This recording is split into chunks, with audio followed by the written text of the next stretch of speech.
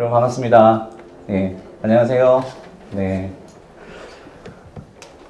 진짜 이게 항상요, 뭐, 그 예배 사회도 보고, 뭐, 설교도 하고, 항상 이렇게 강의도 많이 하고 하는데도요, 항상 쓸 때마다 떨려요.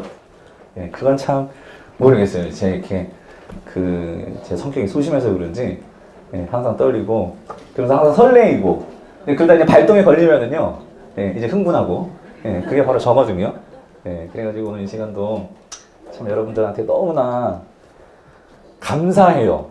예, 뭐가 감사하냐면 그 사실은 오늘 제 생일이에요. 예. 아니, 아유 감사합니다. 아니. 그 박수를 받으려고 한게 아니라 이런 생각이 드는 거예요. 무슨 생각이 드냐면 어제 밤에요. 사실 이 강의도 뭐 작년에도 한번 했었어요. 했던 강의고 한데 어제 밤에 참 그게 하나님이 이상한 거예요. 원래 어제 다 그 강의를 다 만들었었거든요. 근데 또 이게 그이 파워포인트를 만들다 보니까 항상 이게 문제. 이게 완전히 또 새 판이 짜지는 거예요. 예. 그래가지고 또 막 자료 찾아가지고 막 새로 강의 만들고 막 하면서 하다 보니까 2시 반이 된 거예요, 어젯밤에. 2시 반에. 그래가지고, 그걸 딱 마치고 이제 잠자리에 들려고 하는데, 어, 그냥 마음, 마음이 막 설레이는 거예요. 뭐가 설레이냐면, 오늘 아침에 어, 누군가를 만날 텐데, 여러분들이요. 예, 만날 텐데, 아, 누구실까? 예, 누구실까?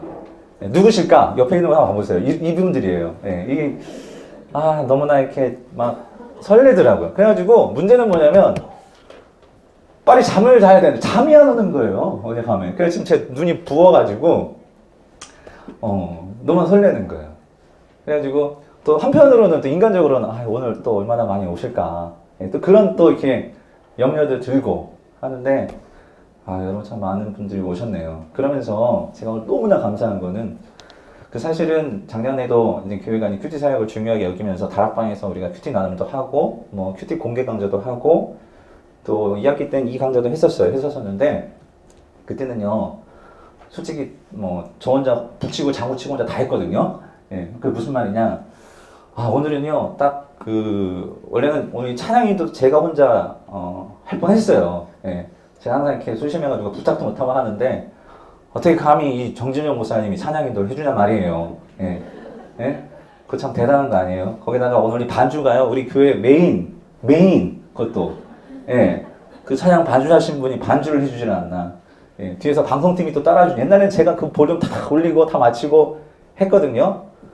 거기다 또 이번에 또 이 QT팀에 섬겨주시는 또 우리 새로 오신 박정원 전도사님이라고 전도사님까지 붙여주시고 또 이렇게 간식도 섬겨주시는 집사님들도 붙여주시고 하나님께 너무나 선물들을 많이 주시는 거예요. 그래가지고 오늘 그게 느껴지니까 그냥 너무나 감사한 거예요. 예. 그리고 거기다가 오늘 이렇게 많이 올 줄은 몰랐어요. 예. 어, 너무 감사한 거예요. 그래서 오늘 정말로 하나님께 저에게 그냥 종합 선물 세트를 그냥 예, 주시는 것 같아요. 예, 그래서 거기다가 또 영상까지 찍어주시네요. 이거 어떡하죠? 그래가지고 부담도 되고 예, 어, 한데 어, 무엇보다도 그냥 여러분의 마음이 감사해요. 또 보니까 어떤 집사님 보니까 서울에서 오신 분들도 있고 뭐 막 여러 데서 오셨을 거예요. 그죠? 그래서 어떤 면에서 부담도 되는 거예요. 이 시간이 여러분들에게 정말 도움이 돼야 되는데 예, 어, 도움이 될 줄 믿습니다. 예, 저는 하나님께 의지하고요. 이 시간 어, 함께 여러분들이 조금이나 도움이 되었으면 좋겠고 제 소원은 이거예요. 여러분들이 그냥 하나님의 말씀이 그냥 좋다 하는 것을 그냥 느끼셨으면 좋겠어요. 그래가지고 아까 아까 목사님도 말씀하셨지만 그냥 하나님 사랑이 좋아가지고 그 말씀 앞에 이렇게 앉아 있는 거예요. 여러분 그게 큐티예요. 그게 큐티. 제가 좀 이따 강의 나오겠지만 그러니까 항상 큐티가 어렵대요. 우리 성도님들이. 네, 어렵다고 하는데 왜 어려울까 고민을 해봤어요. 어, 해봤는데 어, 거기는 문제가 몇 가지가 있더라고요. 그래서 오늘 그런 문제들을 어, 하나씩 하나씩 살펴보면서 우리 생각들을 조금 이렇게 바꾸는 시간이 될 거예요. 제가 오늘 12시까지 이걸 마치려고 하는데요. 또 제가 하다 보면 흥분하다 보면 이게 문제예요. 막 없던 게 막 나오고 막 이렇게 붙어요. 사족이. 예. 근데 그게 좀 있어야 또 재밌잖아요. 근데 이걸 어떻게 될지 모르겠어요. 카메라가 좀 저를 지켜보고 있기 때문에. 예. 그래서 어, 하여튼 12시까지 마치려고 노력을 할 거고요. 어, 그리고 그 사실은 어, 이제 봄에 어, 큐티 그 기초 신앙 강좌가 열려요. 사실은 오늘은 그거에 그냥 엑기스만 뽑아가지고 이 맛배기만 여러분과 같이 나누는 거죠. 가장 중요한 것만. 왜냐면 여러분이 지금 당장 QT를 하셔야 되잖아요. 그죠? 네, 그래서 그 엑기스만 나누고요. 좀 더 구체적이고 자세한 내용들은 여러분들이랑 강의 들어보시고 아, 좋다 하면 그때 좀 많이 등록 좀 해주세요. 네, 해주시고 여러분들이 아무튼 도움이 되셨으면 좋겠어요. 네, 그래서 오늘 시간 어, 들어오실 때 여러분 자료는 다 받으셨죠? handout 받으셨고 자 그래서 이제 우리 같이 한번 살펴볼 건데요. 중요한 질문이 하나가 있어요. 여러분께 드리고 질문이에요. 드리고 싶은 뭐냐면 여러분 여기 왜 오셨어요? 네, 여기 왜 오셨어요? 한번 옆에 계신 분들한테 여쭤보세요. 여기 왜 오셨어요? 네. 네. 네? 왜 오셨어요? 네? 집사 권사님이세요, 집사님? 집사님 왜 오셨어요? 네. 예. QT라는 게 뭔지 몰라서요. 예. 뜻을 알기 위해서 왔어요. 뜻을 알기 위해서 QT를 전혀 한 번도 해보신 적은 없으시고요. 예, 없으시고요. 예, 감사합니다. 우리 성도님은 왜 오셨어요? 저도 QT에 대해서 몰라가지고 네. 처음 이제 QT를 접하시는 거고요. 예, 오셨고요. 보니까 뭐 또 어떤 분들은 QT 강의 다 들으신 분들도 있고 한데 어, 상관없습니다. 예, 이 시간이 우리 모두에게 뭐든지요, 여러분 운동을 배우든지 수영을 배우든지 뭘 배우든지 처음 기본기를 잘 배워야 되더라고요. 그렇죠? 예, 기본기가 제대로 안 되면 나중에 그걸 뜯어고치려면 힘들거든요. 그래서 특별히 오늘 처음 오신 분들은 이 처음 QT가 뭔지에 대해서 한번 여러분들이 제대로 한번 잘 어, 배우셨으면 좋겠어요. 근데 제가 QT 세미나를 오래 하다 보니까 많은 분들이 QT가 어렵다는 거예요. QT가 어렵다. 예, 그래가지고 그 이런 세미나들이 많아요. QT 방법을 가르쳐 주는 세미나. 그래가지고 그 세미나들을 쫓아다니면서 막 모든 세미나는 다 들어요. 그럼 내가 QT를 잘할 수 있겠지. 예. 그리고 또 어떤 분들은 QT 하면은요, 특별히 이제 제자 훈련 하시는 분들, 뭐 사역 훈련 하시는 분들, 그런 분들은 뭐 QT의 과제도 막 내야 되고 하다 보니까 막 QT를 잘해야 한다라는 생각이 드는 거예요. 잘해야 한다. 예, 그러니까 막 Q- QT 강박증에 막 걸리세요. 그리고 만나면 막 QT가 어렵다는 거예요.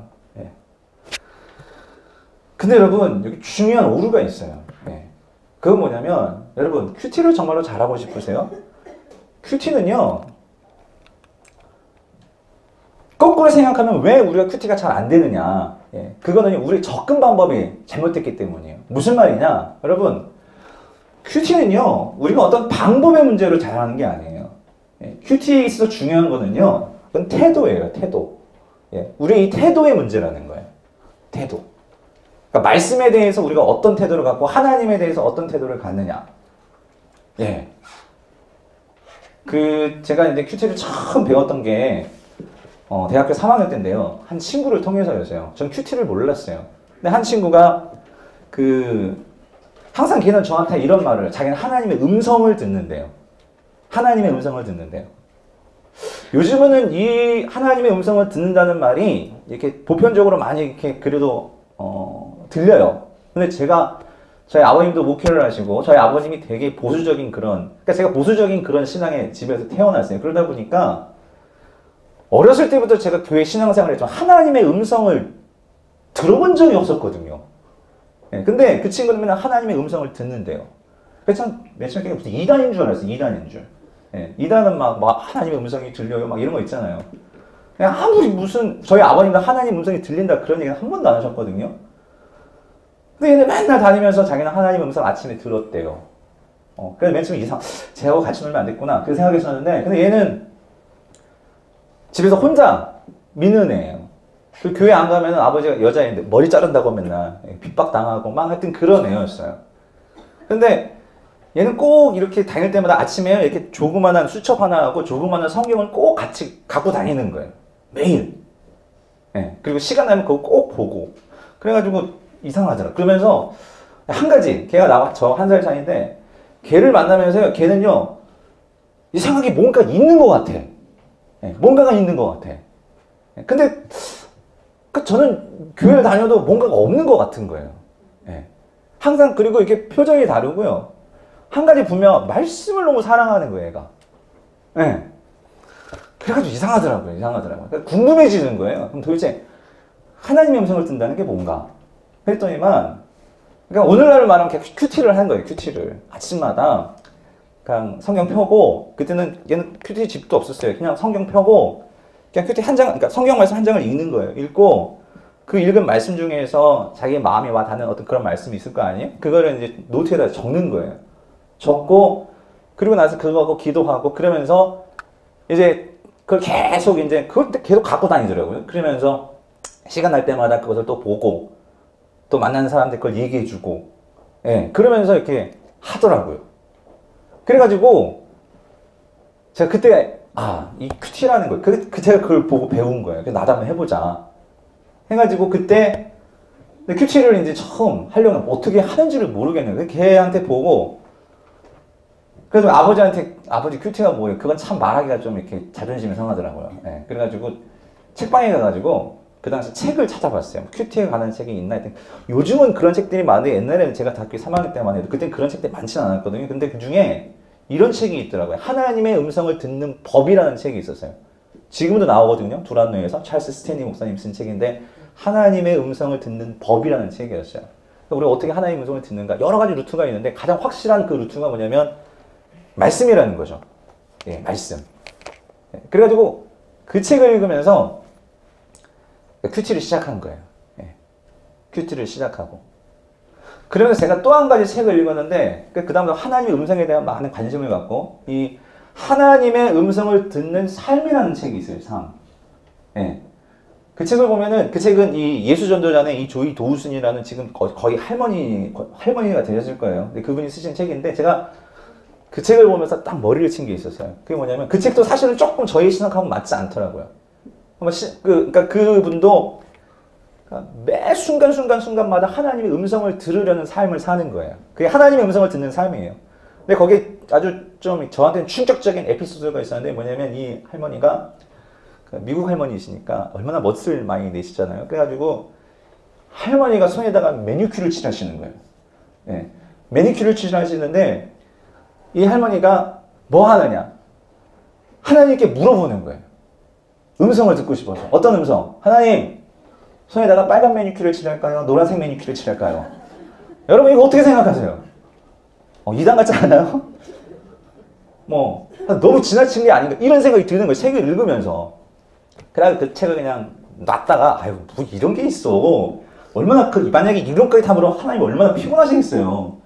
예, 그랬었는데, 근데 또 그 책을 읽으면서 아, 이- 이분은 뭔가 있는 거고 나한테 뭔가 없는 것 같은 거예요.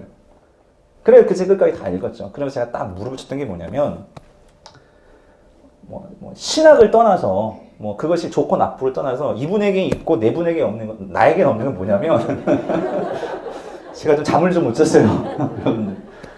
그 태도가 없는 거예요. 하나님께 물으려는 태도. 하나님의 음성을 들으려는 태도.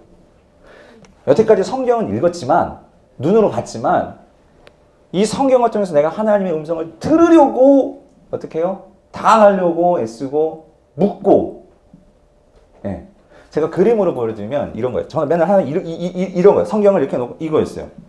관찰하고 뭐가 있지? 이, 이런 태도였어요.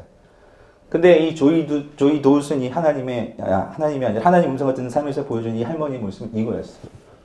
하나님 음성을 들으려고 주여 말씀하옵소서. 예, 이거. 여러분은 어떤 그림이세요? 큐티가 어려운 건 이거예요. 이걸 이- 이런 태도로 어떻게 해요? 말씀을 내가 막 찾으려고 하고 예, 거기서 뭔가를 막 발견하려고 하고 그러면 어려워지는 거예요. 그게 아니라 주님 오늘 나에게 말씀하여 주시옵소서. 나 정말 주님이 필요해요. 주의 음성을 듣고 싶어요. 때로는 안 들려주실 때도 있어요. 그러면 그냥 그 시간을 하나님과 함께 했던 그 시간을 그냥 여러분이 감사하시면 되는 거예요. 예, 중요한 건 내가 하나님과 함께 하고 있느냐 아니냐 그게 중요한 거죠. 그래서 여러분 큐티에서 중요한 태도는 들으려는 태도예요. 들으려는 태도. 내가 들으려고 오늘 하나님이 주시는 말씀을 들으려고 예, 하나님의 음성을 들으려고 예, 이 들으려고 하는 태도. 제가 부족하지만 사랑의교회에서 사역, 차- 어, 사역을 하고요. 그, 이게, 뭐 이렇게 에피소드가 많아. 큐티, 큐티를 하다 보니까요. 큐티는요, 딴 게 아니라 삶이 오픈이 돼야 되더라고요. 예. 삶이 오픈이 안 되면 큐티는요, 거기는 이, 그, 감동이 없어요.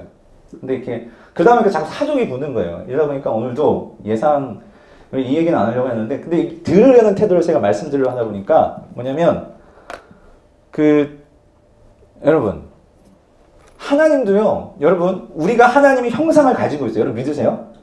예. 하나님이 우리를 하나님의 형상으로 만드시 이거는 뭐냐면요. 하나님을 우리가 이해할 수 있는 그 뭔가 그 코드가 우리에게 있는 거예요. 근데 문제는 뭐냐면 우리에게 뭐가 들어왔어? 죄가 들어왔단 말이에요. 죄가. 죄가 들어와 가지고 그 죄가 자꾸 어떻게 해요? 하나님과 우리의 사이를 자꾸 어떻게 해요? 떨어뜨려 놓으려고 하고 그 하나님께 집중하지 못하게 만들려고 하고 예. 그게 뭐냐면 이거요. 제가 그, 그, 분당 우리에게 오기 전에 미국에서 공부할 수 있는 기회가 있었는데 제가 그때 깨달은 게 뭐냐면요. 아, 제가 영어를 못하잖아요. 하여튼 그런데도 내가 미국에서 공부하고 생각한 좀 하나님 은혜인 것 같아.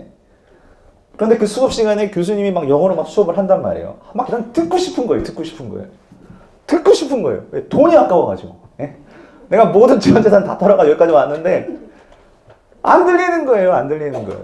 예. 듣고는 싶고. 그래가지고 어떻게 해요? 들으려고 녹음해서 듣고 막 애를 쓰는 거예요. 예. 1년 동안에 아무 소리도 안 들려요. 아무 소리도 안 들려요. 그래가지고 눈치 보면서 막, 하여튼 그러면서 막 꽉착같이 공부를 한 거죠. 예. 그랬는데 제가 뭘 깨달았냐면, 여러분 그거 아니에요. 성경에도 보면은 이 언어가 흩어진 게 결국 인간의 바벨탑 때문에 죄의 결과로 이런 문제가 생긴 거 아니에요? 하지만 그 사람들이나 우리나 예, 생각하는 건 똑같고요. 예, 표현하려는 건 똑같고요. 다 똑같은 거예요. 근데 뭐예요? 언어가 달라지니까. 우리 이해하는 코드가 다르니까. 기호가 다르니까. 그게 막혀 있는 거란 말이에요. 그럼 내가 어떻게 해요? 그 사람들의 말하는 방식을 내가 어떻게 해요? 이제 어떻게? 접하고, 보고, 따라하고, 익숙해지고 하다 보니까 이게 하나씩, 하나씩 어떻게 해요? 예, 들리게 되는 거예요. 여러분, 하나님께서 우리에게요, 하나님 형상을 주셨어요. 우리가 하나님과 함께 할 수 있는, 공감할 수 있는 이 영적인 코드가 우리 안에 DNA가 있어요. 있는데 이 죄 때문에 그게 자꾸 막히는 거예요. 그럼 이거 어떻게 해야 돼요? 그걸 들으려면 하나님의 언어, 하나님의 생각, 하나님의 마음을 우리가 알아야죠. 예, 하나님의 언어에 익숙해져요. 그래서 뭐예요? 큐티가 안 되는 거는 어떤 방법이 아니라 내가 그 하나님을 이해하고 싶고 알려고 하고 하는 이 마음의 마음, 마음가짐, 그 자세, 예. 거기서부터 이제 큐티의 그 문이 열리기 시작하는 거예요. 이게 제 얘기가 아니고 그래서 여러분 보세요. 솔로몬이 하나님께 구한 게 있었어요. 솔로몬이요 왕이 됐잖아요. 왕이 될 수 없는 사람이었죠. 그 형님들이 얼마나 창창해요. 그 자기는 서자 아니에요? 예, 근데 하나님께서 이 솔로몬을 내가 너를 사랑한다 해가지고 왕에 앉히신 거예요. 정적들도 얼마나 많아요? 그런 상황 속에서 이제 내가 나라를 다스리는데 어떻게 해야 하지? 두렵잖아요. 그래가지고 이 솔로몬이 그 처음 이제 왕이 오르고 나서 하나님께 일천 번제를 드리잖아요. 일천 번제를 드리면서 하나님께 구한 게 있죠. 뭘 구하죠? 예, 우리가 지혜라고 생각하는 여러분 이거 큐티도요 이제 이게 중요해요. 그러니까 본문을 정확하게 보는 거. 물론 옛날 성경에 이 지혜로 번역을 해놨는데 이번에 개혁 개정에서는 뭐라고 번역했냐면 자 왕상 3장 9절을 보면은요 같이 읽어볼게요. 시작. 누가 주의 이 많은 백성을 재판할 수 있사오리까? 자 뭐요? 듣는 마음을 종에게 주사 주의 백성을 재판하여 선악을 분별하게 하옵소서. 그러니까 뭐예요? 내가 이 백성들을 잘 다스리고요. 내가 정말로 왕으로서 하나님이 주신 이 사명을 잘 감당하려면 내가 이게 필요하다는 거예요. 그러니까 지혜는 지혜인데 그 지혜가 어디서 나오냐? 이 지혜의 근본은 뭐예요? 듣는 마음에서 나온다는 거예요. 듣는 마음. 뭘 들을까요? 하나님의 말씀을 듣는 거죠. 하나님의 생각을 듣는 거죠. 예. 하나님께 청종하는 거예요. 하나님 나에게 이 마음을 주시옵소서. 예. 듣는 마음. 들으려는 마음. 예. 그랬을 때 제가 딱 친 게 옛날에는요. 그러니까 3장 9절에서 눈이 확 가는데 그 다음에 3장 10절을 꼭 보셔야 돼요. 이랬을 때 하나님의 반응이 뭐냐면 이거예요. 같이 읽어볼게요. 시작. 솔로몬이 이것을 구함에 그 말씀이 어떻게 해요? 주의 마음에 든지라. 마음이요, 마음. 마음. 이 솔로몬이 하나님의 마음을 알고 싶은 거예요. 듣는 마음을 종에게 주시옵소서. 그랬더니 그것이 하나님 마음에 든지라. 예. 그래서 하나님께서 다 주시잖아요. 예. 그러니까 이 들으려는 마음이에요. 주님, 내가 오늘 내가 하루를 살아야 되는데, 내가 오늘 큐티 강좌를 해야 되는데, 내가 또 우리 성도님을 만날 터인데, 하나님, 내가 어떻게 해야 됩니까? 물으셔야죠. 그럼 들으려고 하셔야죠. 예. 하나님, 내가 오늘 중요한 계약이 있는데, 하나님, 오늘 아들이 정말로 대학에 또 이렇게 입시를 치르는데, 예, 남편이 아픈데, 예, 어떻게 해야 됩니까? 예, 들으셔, 물으셔야죠. 예. 듣는 마음. 그래서 이거를 정말 잘한 사람이 있었어요. 그러니까 하나님께서 다윗은, 다윗이죠. 내 마음에 합한 자로다 했던 사람이 누구냐면 이 다윗이거든요. 다윗 성경에서. 그러니까 여러분 큐티를 하면서요. 우리가 이 성경에 많은 하나님도 있고 예수님도 있고 성령님도 있고 그렇죠. 삼위일체 하나님도 있고 많은 인물들이 있잖아요. 그러니까 여러분들이 인물들을 보면서 여러분 그들의 장점들을 내 것으로 만들려고 애를 쓰셔야 돼요. 하나라도 하나라도. 그 중에서 우리가 정말 주목해가지고 봐야 해서 바로 다윗이죠. 다윗. 왜? 하나님께서 다윗은 내 마음에 합한 자로다 그랬으니까 도대체 어떤 태도가 합한 건지를 우리가 그거를 배워야죠.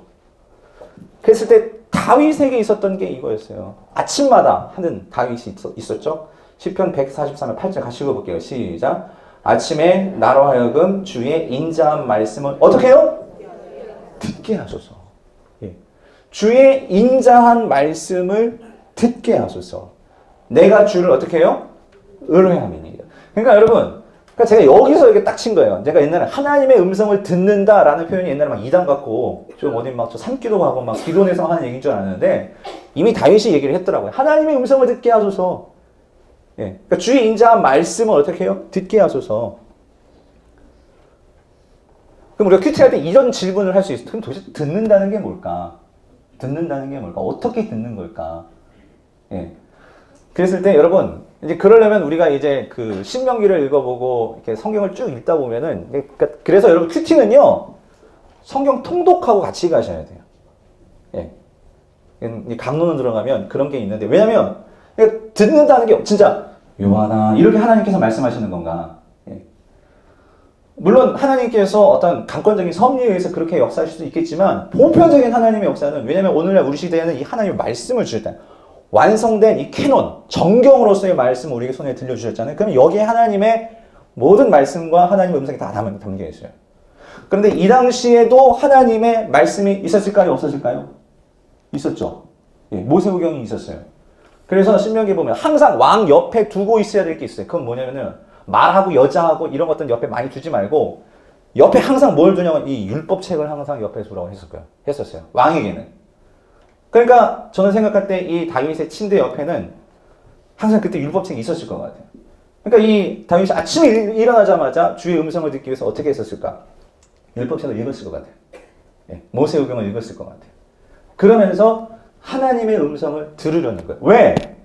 왜? 내가 의지할 게 있어야 되거든요. 예, 안 그러면 내 마음이 흔들리거든요. 예, 내가 주를 어떻게 해요? 의뢰함이니이다. 왜요? 그럴 때 어떻게 하세요? 하나님 내가 다닐 길을 알게 해주신다는 거예요. 네. 내가 무엇을 해야 될지, 어떻게 살아야 될지, 무엇을 결정해야 될지, 무엇을 선택해야 될지 네. 알게 해주신다는 거예요. 근데 참 이게 말씀 묵상. 근데 요번에 이 말씀 묵상 딱 준비하면서 제 눈에 확 들어왔던 표현이 있었어요. 그전에는 듣기 하서만 들어왔는데 이게 참 하나님 은혜인 것 같아요. 그 다음 이 표현. 내가 내 영혼을 어떻게 해요? 죽게 드림이니이다. 이게 무슨 의미일까요? 내가 내 영혼을 죽게 드림이니이다. 이게 무슨 말일까요? 여러분 이 말이요. 엄청난 다윗의 이 신앙 고백이 있는 거예요. 영혼은요 생명이에요. 생명. 생명. 내가 내 영혼을 죽게 드린다는 것은 뭐냐면 주님 내가 정말로 아침으로 주의 인자한 말씀을 내가 듣지 못한 하나님 나는 죽습니다. 죽습니다. 예? 내가 죽게 살기로 내가 정말로 주의 말씀을 사모합니다. 어? 주의 말씀이 없으면 나는 죽습니다. 이거예요. 오늘 다윗에게 있고 내게 없는 거 이거예요. 그냥 주님 말씀 있어도 살고 없어도 삽니다. 예. 이게 아니고 다윗은 뭐예요? 내가 내 영혼을 죽게 드림이니이다. 주의 말씀이 없으면 난 살 수가 없습니다. 말씀해 주옵소서. 이게 다윗에게 있었던 거예요. 그 우리 그 김양재 목사님을 아세요, 여러분? 예, 이, 이분이 참 큐티 하나로 정, 정말 이렇게 교회를 세우신 분이잖아요. 원래는 집사님이셨잖아요. 여자분이세요, 여자분. 예, 여자 집사님이신데, 이분이 그, 날마다 큐티하는 여자라는 이 책을 쓰시면서 이제 큐티 사역자로 이렇게 부각되시면서 지금 교회 이름도 비슷해요. 우리하고, 우리하고. 우리 분당 우리 교회고, 이 목사님 교회는 우리들 교회예요. 예, 우리들 교회. 그래서 제가 한번 이게 우리들 교회가 저기 그 휘문고등 여기 좀 비슷해요. 예, 우리는 비슷한가 봐.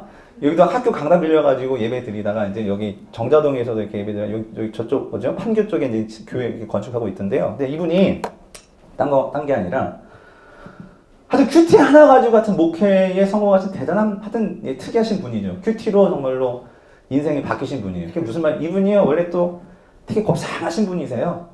원래 대학 때 이렇게 피아노를 전공하셨어요. 예, 피아노를 전공해가지고 또 서울대 기악과를 나왔으니 얼마나 그 당시에 예, 이 엘리트면서 또 얼마나 그 그렇잖아요. 예, 집안도 좀 좋을 것 같아요. 그러니까 이제 그 결혼도 아주 잘하신 거예요. 결혼도 어떻게 잘했냐면은 그러니까 그 정도 또 어떤 사회적인 레벨이 있으니까 남편을 만나는데 의사, 예, 의사 집에 그리고 신앙적으로는 또 이 장로님 가문에 이렇게 시집을 간 거예요.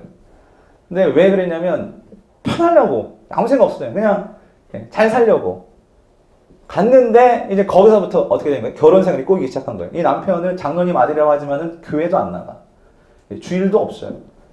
그리고 집은 장로님 집안이지만 이 집이 되게 이렇게 그런 거 있잖아요. 장로가 하나의 트이, 타이틀이 돼가지고 어떤 신앙적인 어떤 이 허세와 어떤 이런 분위기 그런 집안들이 예, 종교 생활을 하는 어떤 그런 집안. 거기에 시집이 시집을 가가지고 주일날 딱 예배 한번 드리고 나면 교회도 못 가. 예, 다락방도 못 가. 아무것도 못 하고 예, 시집살이가 시작된 거예요. 시집살이. 또 이전에는 막 피아노 연주회도 하고 강의도 나고 했었는데 아무것도 못 시켜. 안 시켜. 왜? 집도 뭐 돈도 있고 하니까요. 그러니까 완전 갇혀서 하는 거예요. 그 얼마나 답답하겠어요. 그리고 막 그 시집살이며 하다 보니까 완전 한번 도르시겠더라는 거예요. 예, 도르시겠. 그러면서 뭐 나중에는 어떻게 되는데 참 이게 이게 살면서는 이게 참 모르는 거예요. 그런 집안에 남편이 갑자기 죽죠. 예. 그리고 완전 과부되죠. 예. 그리고 애는 막 대학교 떨어지죠. 막 인생의 풍파를 다 만나는 거예요. 예. 그러다 보니까 도무지 살 수가 없는 거예요. 살 수가 없는 거예요. 교회도 못 가. 예. 주일날 가지만 예배만 드리고 뭔가 이 교제도 없고 나눔도 없잖아요. 뭔가 공급을 받아야 되는데. 그러다가 어느 날 갑자기 누가 이렇게 던져준 게 있었는데 그게 뭐냐면 매일 성경, 매일 성경. 이 큐티집이었어요. 그래가지고 이분이 교회도 못 가고 아무것도 할 수가 없으니까 그냥 집에서 매일 성경 갖고 큐티라는 걸 해보기 시작하신 거예요. 예. 그런데 놀라운 건 뭐냐면 그 이 책 중에 나와 있는 내용을 제가 한번 적어봤어요. 1981년 말에 매일 성경이라는 큐티 교재를 알게 되었습니다. 교회나 모임에 나가지 못하는 제게 조용히 말씀을 묵상할 수 있는 방법을 하나님께서 알려주신 것입니다. 그러니까 스스로 터득하신 거예요. 또 큐티를 가르쳐 준 것도 없었고 그냥 큐티를 하면서 그리하여 저는 큐티를 통해 또 한 번의 인생의 전환기를 맞이하게 되었습니다. 성경을 가르쳐 줄 사람도 없고 자유롭게 구역 예배나 성경 공부 프로그램에 참여할 수 있는 것도 아니었기 때문에 혼자서 이게 중요해요.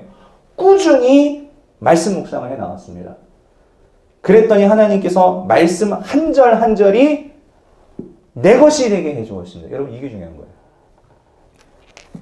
이 말씀 한 절 한 절이 여러분 것이 돼야 되는 거예요. 내 것이 돼야 되는 거예요. 그럴 때 말씀의 능력이 나타나는 거예요. 그냥 이렇게 들어가지고 아는 말씀 말고요. 한 절 한 절이 여러분 삶 속으로 침투해 들어와가지고 내 가슴을 치고 생각을 치고 예. 이게 내 것이 되는 거죠. 그렇게 말씀으로 충만해지고 나서는 제가 돌아다니지 않아도 얼마든지 하나님의 일을 할 수 있다는 사실을 어떻게 알게 되었습니다. 그러면서 이분이 집에서 사람들을 모아가지고 그 과부들, 재수생들 모아가지고 큐티 모임을 만들기 시작했고 그게 교회가 된 거예요. 그래가지고 그게 이제 우리들 교회가 되고 예, 나중에 목사님이 되시고 예.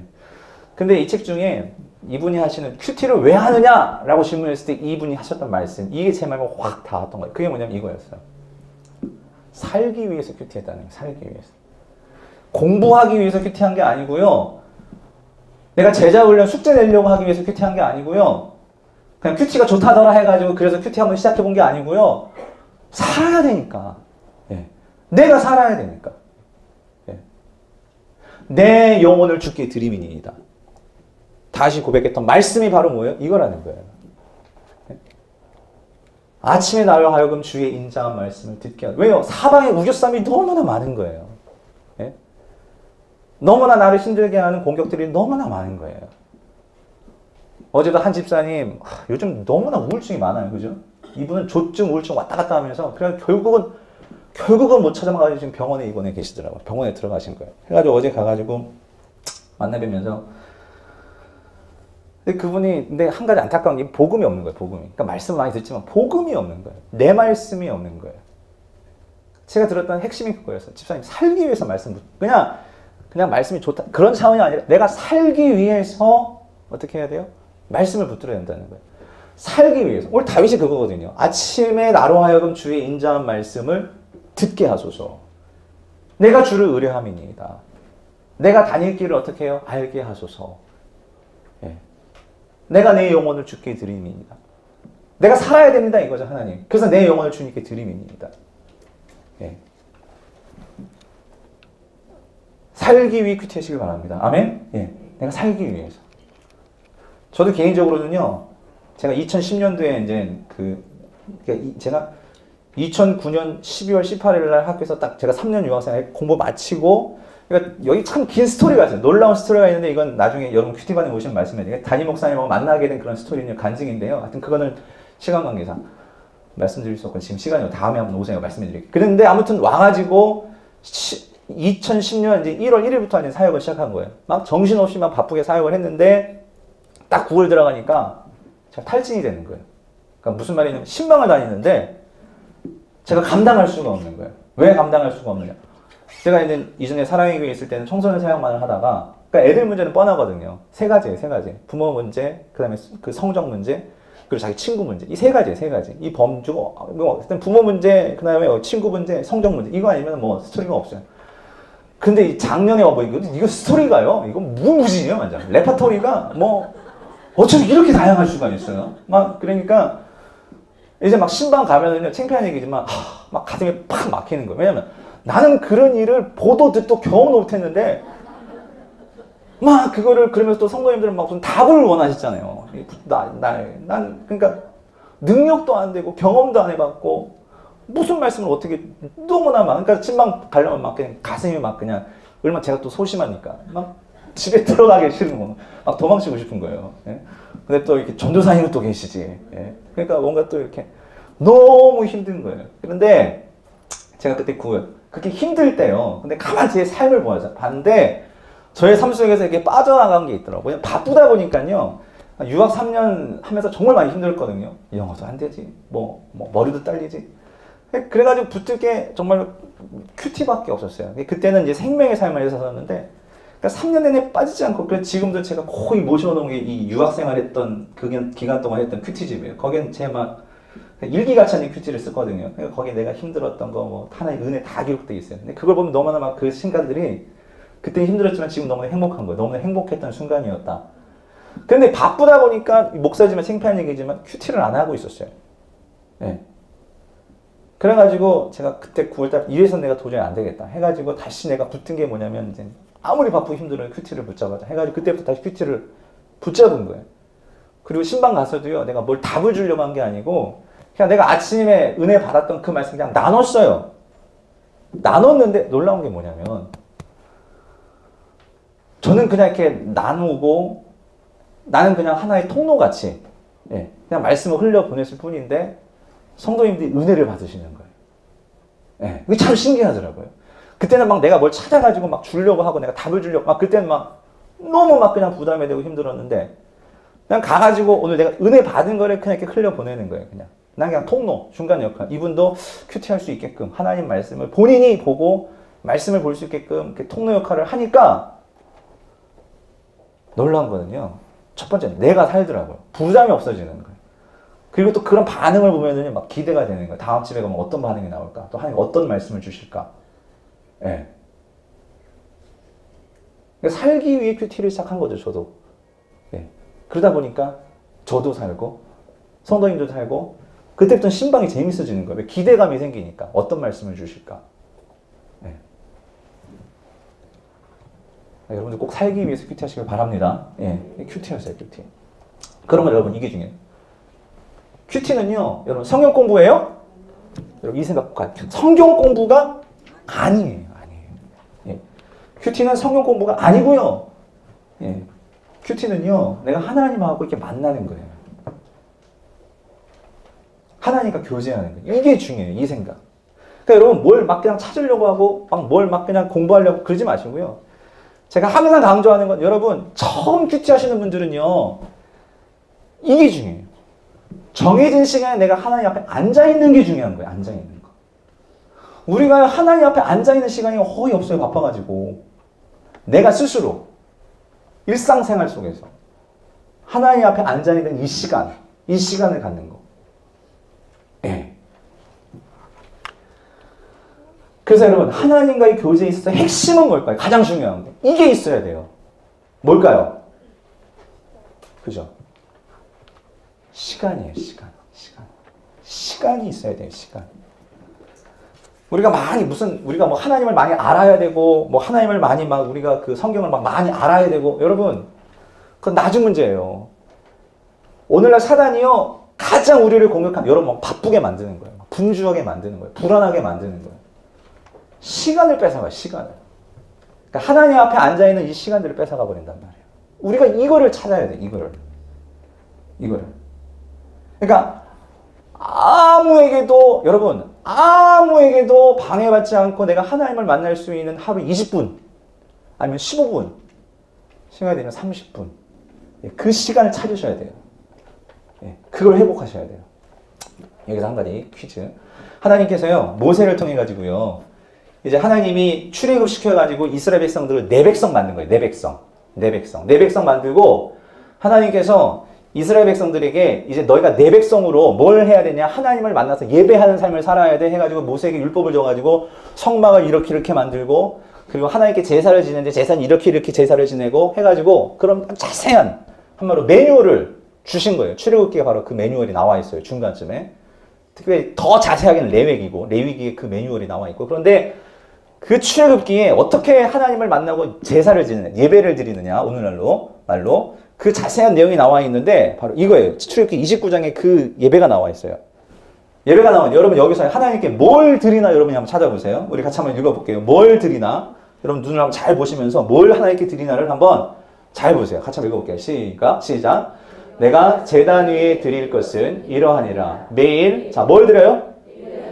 어린 양 두 마리니 한 어린 양은 어떻게 해요? 아침에 드리고 한 어린 양은 어때요? 저녁 때에 드릴지며 한 어린 양의 고운 밀가루 10분의 1 에바 에바는 단위예요. 그 다음에 찌은 기름 4분의 1 흰, 흰도 단위예요 단위. 더하고 또 전제, 전제가 이 포도주를 드리는 이 포도주를 부어서 드리는 제사예요. 전제로 어떻게 해요? 포도주 4분의 1 흰을 더할지며 한 어린 양은 언제요? 저녁 때에 드리되 아침에 한 것처럼 소제, 소제는요 이 곡식을 드리는 제사가 소제예요. 소제와 전, 전제는 뭐라고요? 예, 포도주를 부어가지고 드리는 제사. 예, 전제를 그것과 함께 드려 향기로운 냄새가 되게 하여 여호와의 화제. 화제가 불로 태우는 게 화제예요. 화제를 삼을지니 이는 너희가 대대로 여호와 앞 회막문에서 드릴 늘 드릴 뭐다? 번제라 하셨어요. 자, 여러분 여기서 뭘 하나님께 드리나요? 뭐를? 예, 어린 양, 어린 양 드리죠. 또 네, 밀가루 드리죠. 또 기름 드리죠. 또 예, 포도주를 드리죠. 또 예, 소재, 곡식들 예, 드리죠. 또 있어요? 예, 드리죠. 자, 그럼 여기서 질문. 여러분, 이것들을 드리면 하나님께 제사가 되나요?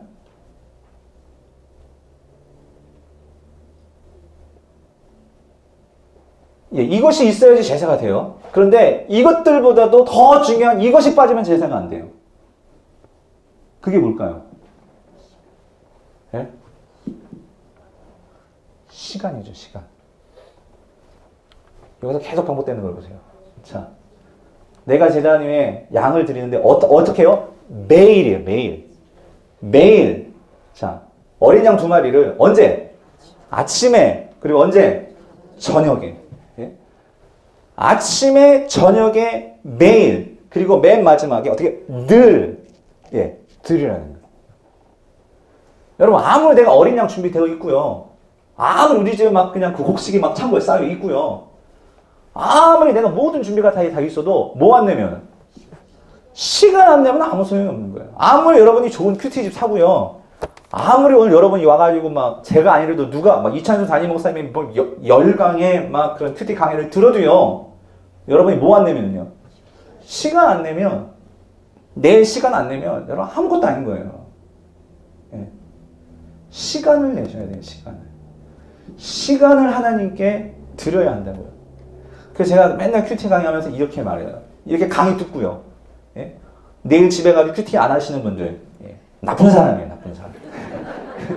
예?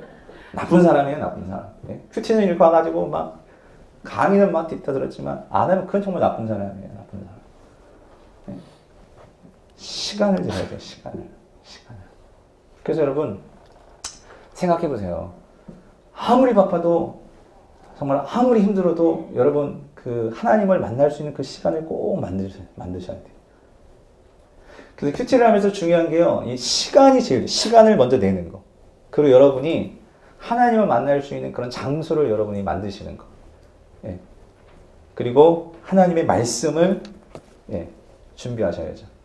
근데 요즘은 너무나 이 큐티, 그러니까 큐티 집이 나온 거거든요. 여러분 이 매일 성경 있잖아요. 근데 매일 성경이 나온 거는, 그러니까 이 큐티 집이 왜 나왔냐면요. 이런 거예요. 여러분들, 그러니까 이, 이- 원래는 이 성경 갖고 큐티 하시면 돼요. 이 성경 갖고 큐티 하셔야 돼요. 여러분이 성경 통독을 하시면서 하셔야 돼요. 근데 이거는 분량이 딱딱딱 그 정해져 있지가 않잖아요. 무슨 말 오늘 해야 할 분량들이. 근데 큐티 집은 오늘 이렇게 하루 하루 하루 내가 먹을 수 있는 이 분량들을 딱딱딱 이렇게 예, 조제를 해놨어요. 거기다가 좋은 거는 그 매일 성경을 보시면 오른쪽에는 성경 본문이 있고 왼쪽에는 이 해설. 해설이라기보다는 이 편집자들이 먼저 묵상을 해 놓았어요. 그래서 첫 번째는 여러분들이 그 적어져 있는 묵상을 보면서 서로 이렇게 나눔을 하실 수 있는 거예요. 아, 본문을 이렇게도 볼 수 있구나. 그러면서 여러분들이 꾸준히 그 왼쪽에 있는 설명도 여러분 읽으셔야 돼요. 꼼꼼히 읽으셔야 돼요. 그걸 꼼꼼히 읽다 보면, 그걸 계속 먹다 보면, 여러분이 큐티 눈, 그러니까 성경을 보는 눈이 열리시기, 열리기 시작하는 거예요. 어떤 분들은 그 왼쪽 편은 보지 말아라. 근데 아니에요, 여러분. 꼼꼼히 다 읽으세요. 꼼꼼히. 여러분 한 1년만 꼼꼼히 읽으시면, 그걸 갖고 여러분, 그러니까 김양재 목사님 누가 큐티를 가르쳐 줬어요? 아니에요. 이 큐티 집을 너무나 잘 활용하신 거예요, 그러니까. 예. 이것만 꾸준히 잘 봐도 성경에 대한 눈이 열릴 수 있어요. 매일 성경이 6년이면요, 신약을 4번인가요? 예. 읽고 구약은 2번인가, 1번인가 읽는데요. 예. 그러니까 여러분이 통독도 하시지만 큐티가 좋은 거는요, 성경을 꼼꼼히, 예. 읽어 나가실 수 있는 거예요. 우리가 작년에 그 다락방에서 에스겔을 묵상했잖아요. 사실 에스겔을 본다는 건 쉽지 않아요. 목사들도 힘들어요. 근데 여러분들이 같이 또 큐티를 하다 보니까 에스겔을 읽었잖아요. 그쵸? 우리가 지금 아직 에스겔 뒷부분이 남아 있어요. 33장까지만 읽었거든요. 예, 뒷부분은 이제 올해 읽을 거예요. 예, 올해 읽을 건데, 어, 그리고 특별히 여러분, 올해 참 제가 기대가 되는 게 여러분, 이 올해 그 여러분 이 매일 성경 이표 보면 이렇게 1년 그 컬이라고 해야 되나? 하여튼 순서가 있어요. 이 올- 올해 묵상할 본문들이 있는데, 저는 올해 이 매일 성경 이 본문들이 너무나 좋은 거예요. 특별히 제일 기대가 되는 게 올해 보면 12월이 기대. 12월에 요한계시록을 묵상을 해요, 여러분. 요한계시록. 하도 이단이 너무나 많고 이단이 갖고 장난치는 게 이 요한계시록, 에스겔 이런 묵시록이거든요. 다니엘. 근데 요번에 우리가 이제 이 교회적으로도 같이 이제 이 계시록을 묵상하면서 제대로 하나님께서 주시는 이 묵시가 무엇인지를 우리가 한번 볼 수 있는 기회가 온단 말이에요. 그러니까 여러분들이 이 큐티만 꾸준히 해도 성경에 대한 지식들이 뿐만 아니라 그것보다도 여러분 이 말씀이요 체득이 된단 말이에요. 내 것이 된단 말이에요. 내 말씀. 예. 그것이 여러분들에게는 힘이 되고 능력이 된다는 거예요. 예. 이 은혜를 꼭 맛보시기를 간절히 바랍니다. 예. 그래서 시간을 들여야 한다는 거죠. 그러므로 큐티란, 큐티란 이게 중요해요. 여러분 이 정리. 매번 저가 이렇게 하다 보니까 정리가 정의가 이렇게 바뀌어져요. 왜냐면 이제 액- 중요한 게 저도 뭔가가 이제 보이는 거예요. 그러니까 요번에 새로운 버전, 요번에 큐티라는 무엇인가 좀 바뀌었는데 뭐냐면 큐티는요. 이게 정해진 시간이에요. 예. 정해진 시간에 내가 어떻게 해요? 말씀을 읽고 읽어야죠. 그러니까 오늘 우리가 하나님 음성을 들으시는 방법 하나님이 요한아 이게 아니라 하나님께서 글로써 우리에게 말씀을 주신단 말이에요. 음성을 들려주시는 거예요. 그러니까 우리 읽어야 돼. 읽고 중요한 거, 여기 몇 가지 이제 그 동사들이 나오는데, 자, 정말 묵상함으로, 예, 묵상함으로 어떻게 해요? 우리 하나님의 음성을, 그러니까 다른 말로 표현하면 이게 하나님의 뜻이죠. 하나님의 계획이죠. 그것을 우리가 어떻게 해요? 듣는 거예요, 듣는 거예요. 듣고, 그래서 우리가 어떻게 해, 그거를 깨달아. 예, 깨달아. 그럼 중요한 게, 그것을 그냥, 여- 여러분, 여기서, 만약에 여기서 끝나버리면은요, 듣고 깨닫는 것에 끝나면 성경 공부로 끝날 수가 있어요.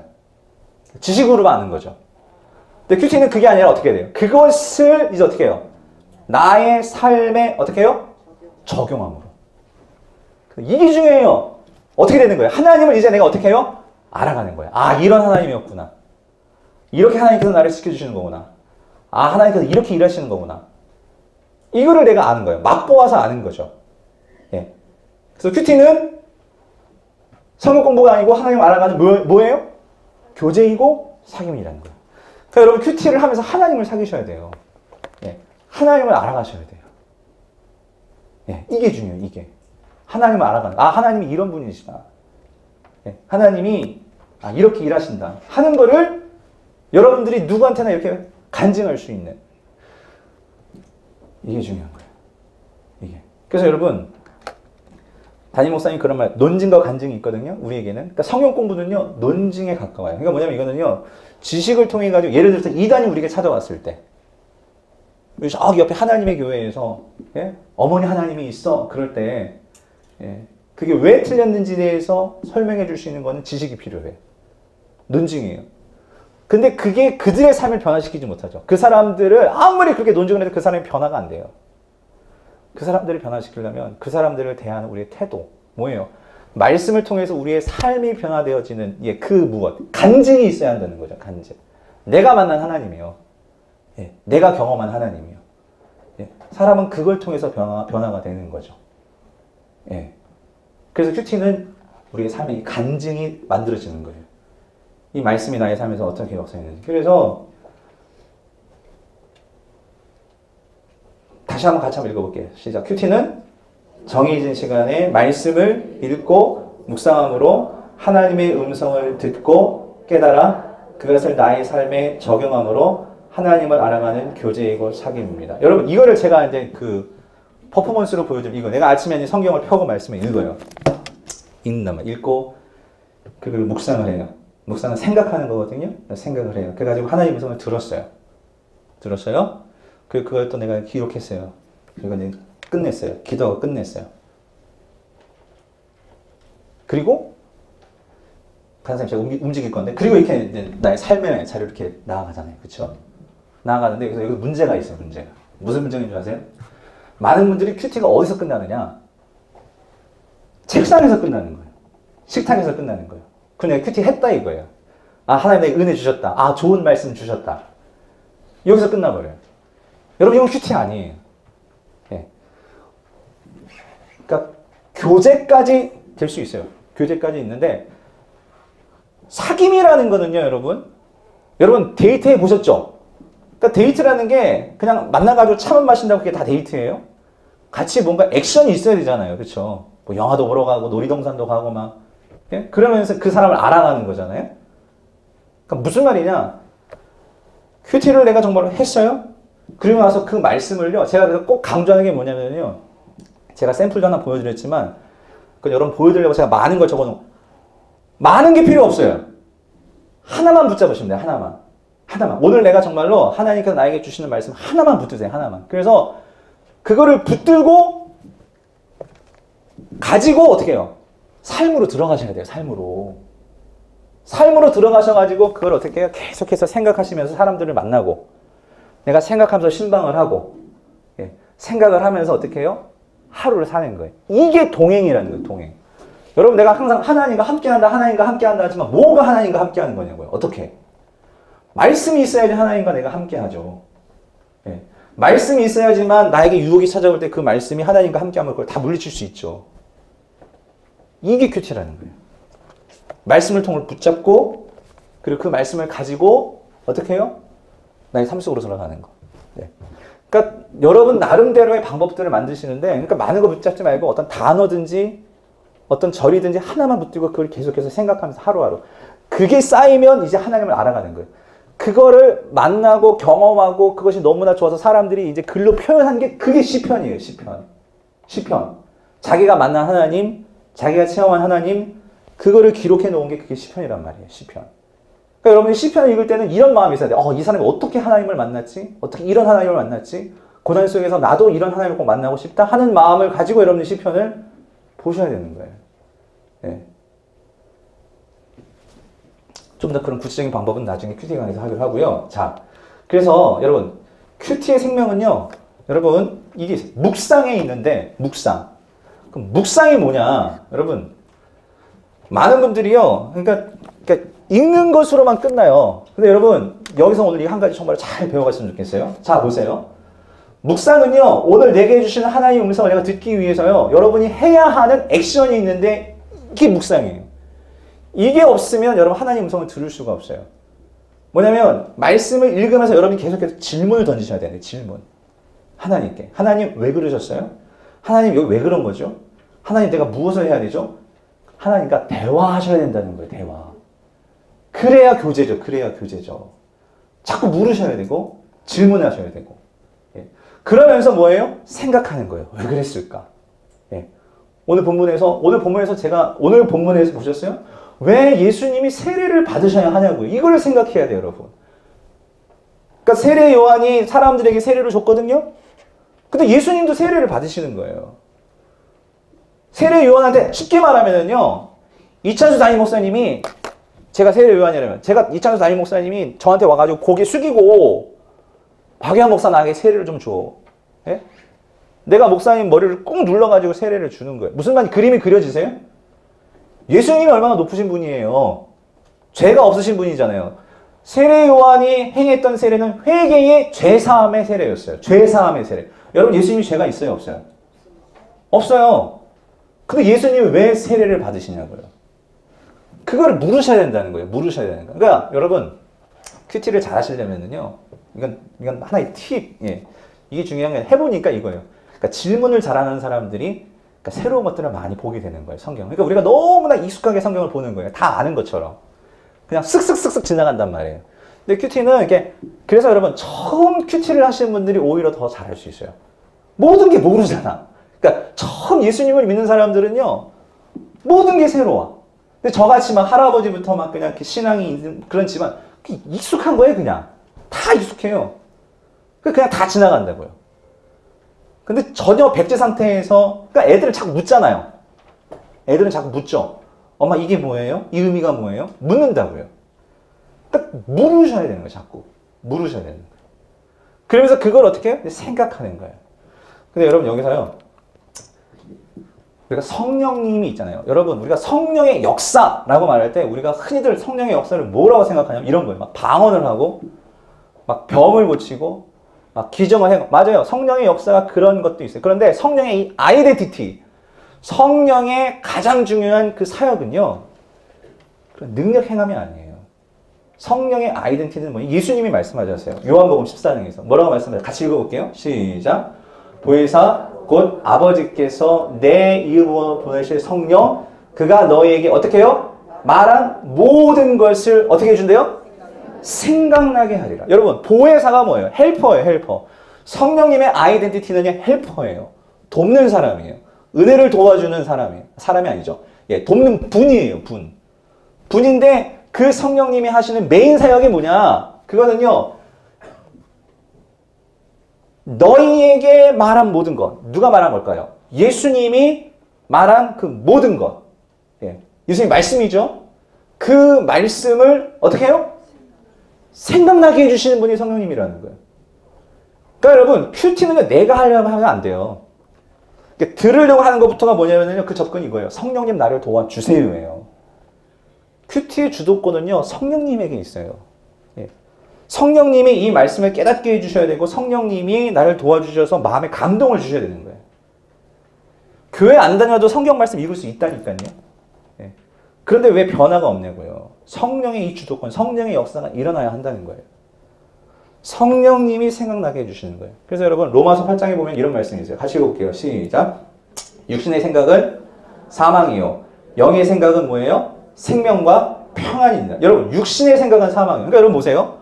오늘날 사단이 우리를 뭘 갖고 장난치는 우울증도 마찬가지고 애들이 이상을 생각 그러니까 결국 생각의 문제라는 거예요. 생각의 문제. 하, 나는 우울해. 하, 나는 안 돼. 하, 나는 정말 문제가 있어. 예? 자기 자신에 대해서 계속 부정적인 생각을 주고요. 예, 긍정적인 생각이 아니고 자꾸 어떻게 해요? 나 자신에 대한 자존감을 얻게 만든 열등감을 갖게 만든 이게 다 생각에서 오는 거잖아요. 그러니까 첫 번째로 사단이 우리를 가지고 당하시는 건 생각에서 오는 거예요. 수요일 날 설교하셨잖아요. 윤재영 목사님. 다윗이 넘어졌던 것도요. 첫 번째는 그냥 버- 봤거든요. 예. 바세바를 봤거든요. 벌거벗은 몸을 봤거든요. 근데 거기 뭐가 들어와요? 생각이 들어온 거예요. 궁금해지는 거죠. 저 여자가 누굴까?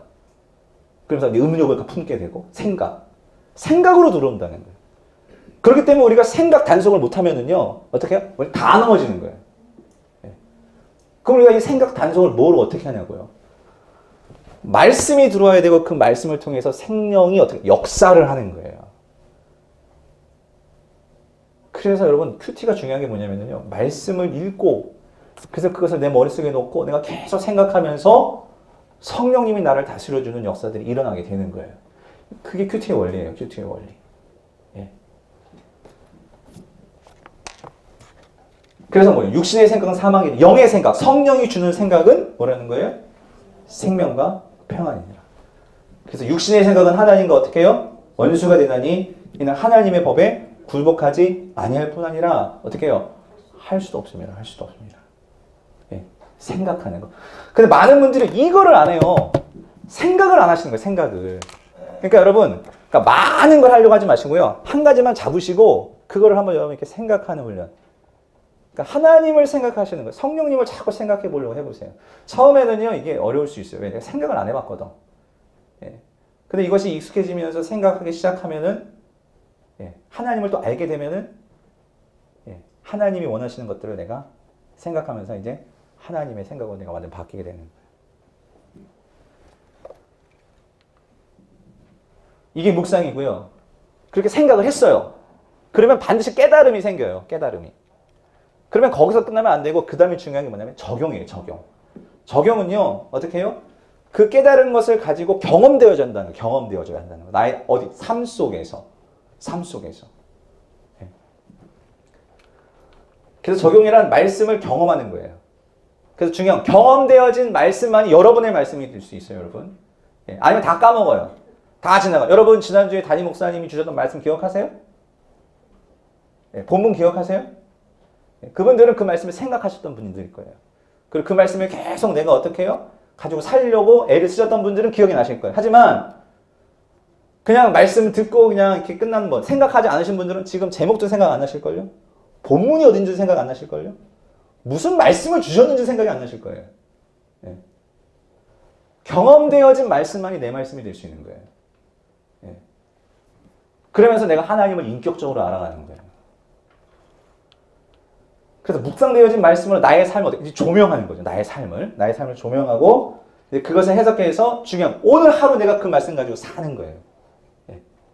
예. 그러면서 내가 하나님에 대한 지식이 하나씩 하나씩 하나씩 더 생겨나게 되는 거예요. 예, 이게 하나님을 알아간다라는 거죠. 예. 빌립보서에 보면 자 이렇게 말하고 바울이 자 우리 같이 한번 8절 읽어볼게요. 시작. 끝으로 결론이에요. 빌립보서의 결론인데 뭘 말하고 있느냐? 시작. 형제들아 무엇에든지 참되며 무엇에든지 경건하며 무엇에든지 오르며 무엇에든지 정결하며 무엇에든지 사랑받을 만하며 무엇에든지 칭찬받을 만하며 무슨 덕이 있든지 무슨 기림이 있든지 이것들 뭐 하래요? 생각하라. 그러니까 여기 나와 있는 이 모든 게 결국 뭐예요? 예수 그리스도의 가르침이거든요.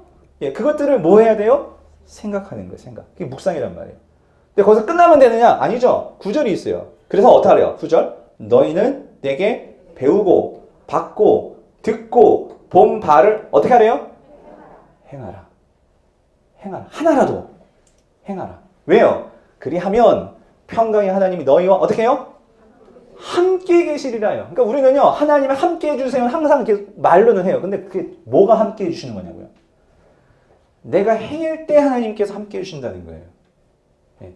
행할 때 그 하나님과 함께함을 내가 경험할 수 있게 된다는 거예요. 그러니까 한 가지라도 예, 알아야 된다는 거죠. 그 하나님을. 예. 이게 적용이에요. 이게 적용. 그래서 큐티는요, 책상에서 하고 한 가지라도 그것을 붙들고 뭐예요? 여러분, 여러분 이거 꼭 기억하세요. 그걸 붙들고 기억하면서 하루를 사셔야 거예요. 계속 기억하면서 나의 삶 속에서. 그럴 때 그것이 여러분 말씀이 될 수 있다는 거예요. 이걸 다 정리해 볼게요. 그래서 여러분들 그럼 큐티를 어떻게 하면 되냐? 순서, 예, 순서. 그러니까 순서는요, 이거는 처음 큐티 하시는 분들을 위해서 하나의 폼을 만들어야 되는 거예요. 이거 꼭 안 지키셔도 돼요. 여러분들의 폼을 하시면 되는데, 이 한 내용을 지금까지 여러분들께 전해드린 내용을 다 정리해서 한 폼을 만들어 보면 이런 그림이 나온다는 거예요. 첫 번째, 준비 기도를 하셔야 돼요. 왜 준비 기도를 해야 될까요? 큐티의 주도권은 누구한테 있어요? 나한테 있어요? 누구한테 있어요? 성령님에게. 성령님 도와주세요. 성령님 도와주세요. 성령님 오늘 내가 정말 주의 음성을 들어야 합니다. 예, 살아야 합니다. 예, 그걸 준비 기도를 하는 거예요. 예. 그래서 꼭 기도하시고 큐티를 하세요. 예. 그리고 나서 이제 성경 본문을 읽는 거죠. 예. 읽는 것은 왜 읽는 거예요? 듣기 위해서 읽는 거예요. 듣기 위해서. 하나님께서 뭘 말씀하시나. 그래서 오늘 본문을 쭉 보면서 하나님께서 지금 뭘 말씀하시는 거지 하면서 도대체 오늘 본문의 이 중심 내용이 뭔지를 한번 여러분들이 예, 생각하시면서 보시는 거예요. 예. 그 내용이 뭔지, 중심 내용이 뭔지. 그것이 파악될 때까지 첫 번째 읽고 두 번째 읽고 세 번째까지라도 그 내용이 뭔지를 파악될 때까지 읽으세요. 예. 자, 읽으, 읽으 시고 나서 읽으시면서 한번 저는 이렇게 해요. 저야 뭐 많이 익숙해서 한 번 읽어도 내용이 들어오죠. 그러면 한 번 쭉 읽고요. 그리고 나서 저는 뭐 왼편을 읽어요. 예. 왼편에 묵상되어 있는 걸 읽는단 말이에요. 그것도 잘 활용하세요. 때로는 생각이라는 것이요. 말씀만으로도 내게 임하기도 하지만 옆에 누군가가 먼저 묵상해 놓은 것을 가지고 예, 그것을 내가 읽으면서도 어떤 생각이 나한테 들어올 수 있단 말이에요. 예, 그러니까 그걸 닫아 놓지 마시고 예, 다 열어 놓으세요. 예, 그래서 생각이 날 수 있는 그런 통은 다 열어 놓으세요. 그걸 읽으시고 그러면 아 이런 내용이구나. 예, 또 이렇게 또 묵상을 하셨구나. 그리고 나서 전 다시 본문을 또 한번 읽어요. 예. 그리고 읽다 보면은 그때는 정말로 이 말씀이 더 잘 이해가 돼서 나에게 필요한 말씀. 그래서 큐티 하는 거는 내가 오늘 살기 위해서 큐티를 하는 거예요. 그렇죠? 그래서 내가 특별히 오늘 내가 붙잡을 말씀들이 그때 이제 붙잡힌단 말이에요. 예. 그래서 이 과정이 뭐냐면 성경 읽었죠? 그 중심 내용 파악했죠? 그리고 나서 여기서 그러니까 뭐냐면 이 중심 내용 파악하는 게 한 번 읽고 그 왼편에 있는 해설까지도 읽고 예 거기까지 그리고 나서 다시 본문을 읽으면서 이제 묵상하게 들어가는 거예요. 묵상하게 들어가면서 중요한 거는요 이거예요 세 가지 질문하기, 생각하기, 붙잡기예요. 근데 순서가 조금 더 바뀌었다면 본문을 읽으면서 오늘 내가 분명히 붙잡아야 할 한 말씀을 여러분이 예, 찾으세요. 그걸 붙잡으세요. 그래서 그걸 갖고 여러분 질문을 하시는 거예요. 질문도 하시고 그걸 갖고 이제 생각도 하시는 거죠. 예. 그래서 질문하실 때는요 두 가지 질문이 너무나 좋아요. 이거는 이제 매일 성경의 방법에서 따온 건데 두 가지 질문은 이거예요. 질문하실 때 내가 어떤 한 말씀을 붙잡았어요. 그 붙잡은 말씀을 가지고 이거를 질문 하나님은 누구신가? 그러니까 하나님은 뭘 원하시나? 하나님은 어떤 분이신가? 하나님이 좋아하는 건 뭔가? 예, 하는 것을 질문하시는 거죠. 근데 어떤 부분에서 하나님 없을 수도 있어요. 그러면 그냥 내게 주시는 교훈. 그럼 오늘 이 말씀을 가지고 내가 정말로 고쳐야 될 건 뭘까? 내가 정말 다시 생각해야 되는 건 뭘까? 예. 이 두 가지 질문을 가지고 질문해 보면 거의 맞을 수가 있어요. 예. 그래서 이 두 가지 질문을 하시면서 그걸 가지고 밑에 나와 있는 노트라는 건 뭐냐면요. 세 가지 이 분류를 가지고 여러분들이 이렇게 적어 보시는 거예요. 시간이 되신다면 이 적는 훈련까지 하시면 여러분 기록이 남기 때문에 기록이 남으면 여러분의 삶에 하나님과의 이 동행 일지가 적혀지는 거예요. 이게 무슨 말이냐? 여러분, 제가 그 큐티 샘플로 드린 거 있죠? 예, 그거 한번 보실래요? 자, 보세요. 이게 제가 어제, 야, 이건 다 공개, 이거 어제 제가 큐티를 한 이게 본문이에요. 어제. 여러분 어제 본문 보셨어요? 예. 이 제가 직접 이게 QT를 한, Q- 제가 이제 QT를 한 거예요. 이제 그거를 스캔을 받아가지고 갖고 왔는데. 그러니까 이런 거예요. 어제 본문. 어제 본문 QT 하시면 손 들어보세요. 한번. 몇명 되시나? 예. 또 많이 계시네. 그분들 더 이해가 잘 되실 텐데. 이런 거예요. 어제 본문은 자, 누가복음 3장 1절부터 17절이었거든요. 그럼 QT를 딱 아침에 딱 폈어요. 그때는 하얗겠죠. 예, 하얗죠. 예, 하면서 첫 번째는 어떻게 해요? 자, 1절부터 17절까지는 쭉 읽으시는 거예요. 그렇죠? 쭉 읽으세요. 읽고 이게 도대체 무슨 내용인지가 감이 잡힐 때까지 읽으시는 거예요. 근데 처음 하시는 분들은 감이 안 잡힐 수 있어요. 걱정하지 마세요. 큐티책이 너무나 친절해요. 예. 한번 읽고 두 번 읽은데도 무슨 내용인지 모르겠어요. 그러면요 옆을 보시면 돼요. 예. 그러면 매일 성경에서 보면은 여기 그 맨 위에 여기 있잖아요. 여기가 뭐냐면 이 본문의 이 중심 내용을 요약을 해 놓은 거예요. 무슨 말인지 이해되시죠? 예. 그래서 한번 읽고 그러니까 여러분 생각하는 게 중요해요. 그래서 본문이 무슨 내용인지가 머릿속에 잡히면은 한 번 읽어도 돼요. 한 번만 읽어도 돼요. 읽고 그 내용과 옆에 있는 이 내용을 비교해 보시면 돼요. 아, 그래서 아 이런 내용이구나. 근데 여러분 이 훈련이 왜 필요하냐면 때로는요 큐티를 할 때 있잖아요. 완전 내가 복음이 돼가지고 본문을 볼 수가 있거든요. 예, 무슨 말이냐면 맥락도 없고 무슨 내용인지 모르고 그냥 내가 필요해가지고 내가 오늘 막 무슨 땅 계약을 한단 말이에요. 땅 계약을. 그러니까 땅과 관련된 막 본문이 안 나오나 막 찾으려고 한단 말이에요. 근데 그건 잘못된 큐티고 그래서 지금 본문이 지금 뭐에 관한 내용인가 하는 것을 머릿속에 두는 게 필요한 거예요. 그래서 중심 내용을 파악하는 작업이 필요한 거예요. 무슨 말인지 이해되시죠? 그래서 본문을 한번 쭉 읽으시고 나서 아 이런 내용이구나 잡히시면 비교하시고 그래도 몰라 그럼 이거 보시고 아 이런 내용이구나 하고 이해하시고 본문을 다시 읽으시면 되는 거예요. 무슨 말인지 이해되시죠? 그럼 이제 본문이 그려진단 말이야. 아 이런 내용이구나. 아 세례 요한의 사역에 대한 내용이구나. 드디어 세례 요한이 뱃속에서 나와가지고 이제 이런 이런 사역들을 하는구나. 예, 하는 것이 머릿속에 들어왔단 말이에요. 그래서 어떨 때는요, 한 번에 딱 말씀 속에서 여러분에게 딱 말씀이 딱 잡히는 본문이 있을 수도 있고요. 어떨 때는요, 그래도 몽롱할 때가 있어요. 그럴 때는 옆에 있는 이 해설들을 이용하시는 거예요. 예. 왜냐면 내 생각, 성령님께서 주시는 생각을 내가 붙들어야 되거든요. 그럼 어떤 자극이 있어야 된단 말이에요. 그럼 생각은 어떤 자극을 통해서 온단 말이에요. 어떤 인사이트들을 통해서. 그럼 옆에 있는 것들을 잘 활용. 저는요, 본문 읽었을 때 저는 사실은 제가 빨간색 칠한 게 저는 그러니까 하나님께서 주신 말씀들은 빨간색 동그라미를 쳐요 이렇게. 어제는 세 가지를 제가 붙들었어요 세 가지. 하나만 붙으셔도 되는데 어제 같은 경우에 세 가지를 주시더라고요. 세 가지를 붙들었는데 이런 거였어요. 어제 그 이 몇 절이죠? 2절인가요? 2절에 보면은 이런 말씀. 안나스와 가야바가 대자랑 있을 때에 하나님의 말씀이 빈들에서 사가랴의 아들 요한에게 임한지라 그랬는데 어제는 이 제가 색칠했잖아요. 하나님의 말씀이 임한지라가 참 마음에 확 와 닿는 거예요. 아, 하나님 나에게도 이런 말씀이 한번 임했으면 좋겠습니다. 예. 그렇게 묵상하고 있었는데 그러면서 제가 1절, 2절을 봤어요. 이게 해설을 봤어요. 그런데 여기 보니까 너무나 좋은 적용꼬리가 있는 거예요. 뭐가 나와 있냐면 이런 말이 있더라고요. 하나님의 말씀이 통치자나 권력과 타락한 종교 지도자들이 아니라 빈들에 있는 요한에게 임했습니다. 그랬어요. 빈들이라는 단어가 확 들어오는 거예요. 무슨 말인지 이해되세요? 나는 하나님의 말씀이 임했습니다. 라고만 생각했었는데 이 옆에 있는 또 무상을 보니까 이 빈들이라는 단어가 확 들어오면서 아 하나님의 말씀이 임하긴 임했는데 어디에 세례 요한이 있을 때 말씀이 임했다고요? 빈들이라는 단어가 오는 거예요. 그러면서 제가 생각하는 거 도대체 빈들이 어떤 곳인가? 이게 묵상이죠. 생각을 하는 거죠. 빈들이 어떤 여러분 빈들이 어떤 곳이에요? 아무것도 없는 곳이에요. 사람들이 빈들에 가요? 아니죠. 사람들은 화려한 거 좋은 곳에 가잖아요. 근데 빈들에서 세례 요한이 어떻게 해요? 하나님을 대면하는 거예요. 조용한 곳. 예. 고독하지만, 힘들지만, 그곳에서 하나님을 대면할 수 있는 곳이 빈들이더라는 거예요. 그러니까 제가 뭘 말씀드리냐, 여러분. 이 옆에 있는 해설이 여러분 도움이 안 되는 게 아니고요. 이걸 잘 활용하세요. 예. 잘 활용하시고, 거기서 내가 적용거리를 살릴 수도 있고요. 예. 그래서 그걸 가지고 예, 빈들에서를 이제 계속 묵상하시는 거예요.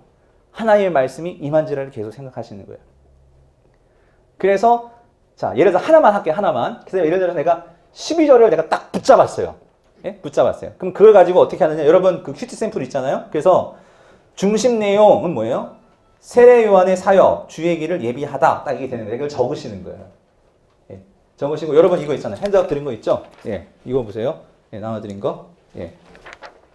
그래서 세례 요한의 사역 주의 길을 예비하다. 이걸 보시고 자 도전은 뭐냐면 도전은요. 그러니까 오늘 내가 붙들은 말씀을 그대로 적으시는 거예요. 그러니까 제가 QT 노트를 적는 방법을 지금 가르쳐 드리는 거예요, 여러분들에게. 예, 한번 실천해 보세요. 그러니까 도전에는요, 그러니까 내가 붙들은 말씀을 그대로 적으시는 거예요. 2절, 제가 적었잖아요. 안나스와 가야바가 대제사장, 대제사장 있을 때에 하나님의 말씀이 빈들에서 사가야 될 요한에게 임한지라 그랬잖아요. 적고 나서 도전에서는요, 이 말씀을 가지고 질문을 하면서 하나님은 누구신가? 그러니까 하나님은 어떤 분이세요? 빈들에서 말씀하시는 분이더라고요. 빈들. 고용한, 조용한 곳, 예, 하나님을 대면할 수 있는 예, 그 시간에 말씀하시는 분이더라고요. 그러니까 여기에서 질문을 하시면서 이 2절이 어떠한 의미인지를 한번 생각해 보시는 거예요. 그러니까 이 2절의 본문의 의미.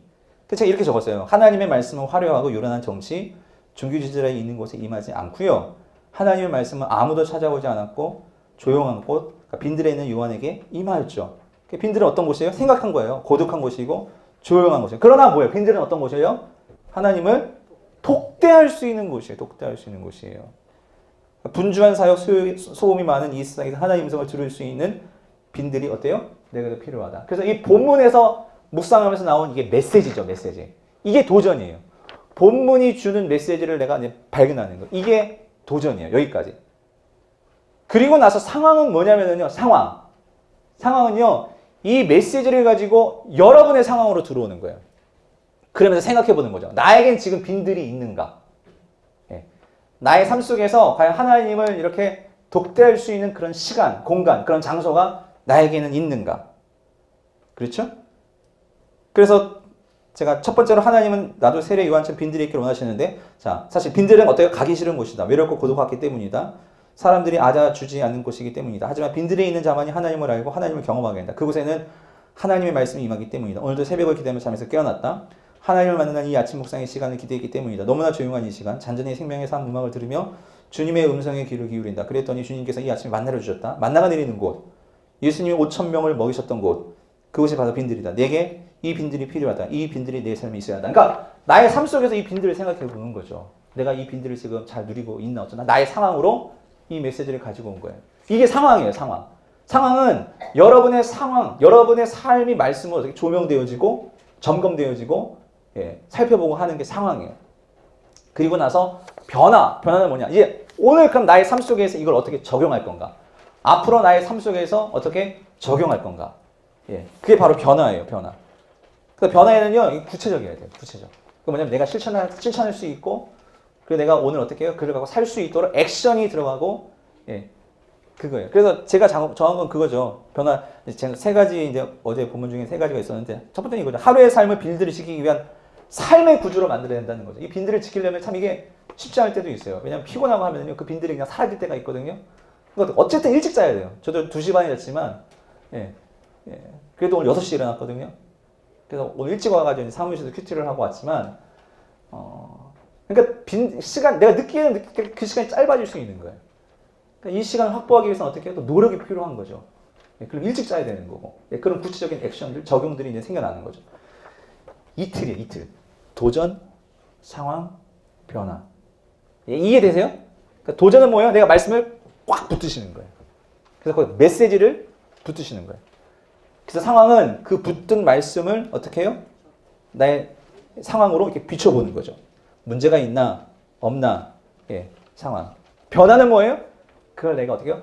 적용하는 거예요. 적용하는 거예요. 적용. 적용.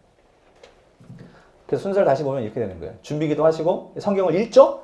읽으면서 중심 내용을 파악을 하는 거예요. 그렇죠? 그러고 나서 제가 왜 묵상에 적용을 하냐면 적용을 하냐면 이 묵상과 적용이 같이 갈 수 있어요. 무슨 말인지 이해되시죠? 예. 큐티를 하다 보면 이게 막 구분, 옛날에는요, 묵상하기, 적용하기를 막 구분했거든요. 근데 큐티를 이렇게 하다 보면 이게요, 어떨 때는 한 번에 적용이 나올 수도 있고 합쳐질 수도 있어요. 중요한 거는 이 생각하는 거. 예. 생각하면서 지금 이 말씀의 메시지를 생각해보고, 나의 상황을 한번 생각해보고, 그리고 내가 오늘 어떻게 살 건가를 생각해보고, 예. 예, 이걸 하는 거예요. 그러면서 이 노트가 바로 그래서 이- 여기까지의 이 과정을 여기까지의 과정을 그냥 이렇게 생각만 하고 끝나면은요 이건 생각은요 그냥 이렇게 날아가 버려 휘발성이 있어요. 이거를 기록해 놔야지 어떻게 해요? 혹시 남는단 말이에요. 그래서 어, 남자분들이 저 같은 경우는 그래서 페이스북을 잘 이용해요. 페이스북, 페이스북. 몇몇 집사님들 페이스북 하시면 저 이렇게 말씀 나누기도 하는데 왜 페이스북을 하냐면 그거는요 저는 스마트폰이 좋잖아요. 거기다가 이렇게 기록해 놓는 거예요. 간단하게. 적용하고 메시지만. 그럼 수시로 그걸 계속 보는 거예요. 그러면서 내가 오늘 이 말씀을 계속 기억하기 위해서. 제가, 제가 이제 개발한 방법이에요, 이거는. 그러니까 여러분 나름대로, 아니면 어떤 사람들은요, 수첩을 갖고 다니는 분도 있더라- 있더라고요. 예. 아니면 큐티집을 항상 들고 다니시는 분도 계세요. 예. 근데 그건 여러분의 방법. 기억하려고. 그래서 이게 있는 거예요. 기억과 실천. 그러니까 기억되지 않은 말씀은요, 여러분 내 말씀이 안 돼요. 그거를 기억하면서 그것을 실천할 때 어떻게 그것이 이제 나한테 남게 되는 거예요. 예. 아, 이해되세요? 예. 큐티 하고 싶어지세요? 아, 진짜로? 예, 예, 그래야 되는데. 예. 제발 그러셨으면 좋겠어요. 예. 자, 그래서 어 이게 그치. 그리고 한 가지 순이라는 게 있어요. 순, 순, 순. 그러니까 그 생명에서 생명 아니 생명 설명이죠. 매일 성경에서 나오는 큐티집이 어 크게 평신도들이 한 세 가지 종류가 있거든요. 첫 번째로 우리가 쓰는 게 이 매일 성경, 예, 이 대표적인 거죠. 그리고 나서 이게 조금 어렵다 하시는 분들이 있어요. 그게 뭐냐면 지금 이 매일 성경의 구조가요. 그러니까 지금 이게 본문이 있고 그 옆에는 이게 이게요 해설이라기보다는 묵상을 해 놓은 거예요. 근데 이게 처음부터 끝까지 막 순서대로 되는 게 아니라 보세요. 막 여기 1절, 2절 돼 있고 막 여기 7절, 9절 돼 있고 막 섞여 있거든요. 예. 그러니까 왜냐하면 두 가지 질문을 가지고 나름대로 이렇게 한번 묵상해 본 거예요. 그래서 여기도 질문이 하나님은 어떤 분이신가? 돼 있고 내게 주시는 그건 무엇인가? 이렇게 돼 있잖아요. 그러니까 예를 들어서 이, 저- 이, 이 편집자는 7절, 9절을 가지고는 어, 내게 주시는 교훈이 뭔가 이 질문을 던지면서 그 말씀을 묵상한 거예요. 예, 때로는 그 말씀을 가지고 하나님은 누구신가를 생각할 수도 있어요. 예, 그러니까 이거는 여러분이 참고하시면 되는 거고요. 그래서 이, 이 메일 성경이 좋은 것은 내가 어, 묵상한 것과 그리고 이 편집자들이 해놓은 묵상을 비교하면서 묵상의 폭을 이렇게 넓힐 수 있는 장점이 있어요. 그리고 순이라는 게 있거든요. 순. 여러분 순 아시죠? 예, 순이 있는데 순은 뭐냐면은 자 이런 거예요. 자 이게 순이거든요. 순은요 옆에 마찬가지 편집은 똑같아요. 성경 본문이 있어요. 근데 이 본문은요 이건 표준 새 번역이에요. 새 번역. 표준 새 번역. 조금 말이 조금 더 이렇게 부드러워요. 예, 개혁 개정보다 예, 새 번역이니까 예, 새롭게 번역했으니까 예, 그래서 좀 말이 좀 조금 쉬워요. 쉬울 수 있어요. 예, 표준 세 번역으로 되어 있고 옆에 가요. 얘는요, 뭐 조금 다른 게 뭐냐면 묵상이 되어 있는 게 아니라 어떤 신학 교수님들 뭐 이런 분들을 편집자로 뽑아가지고 여기 보면 나와 있, 요- 어, 순도 마찬가지 여기는 요약이 되어 있어요. 오늘 본문의 중심 내용이 뭔지 예, 요약이 되어 있어요. 근데 그 밑에 보면은 여기 보면 성경 이해라고 돼 있죠? 이건 묵상이 아니고요.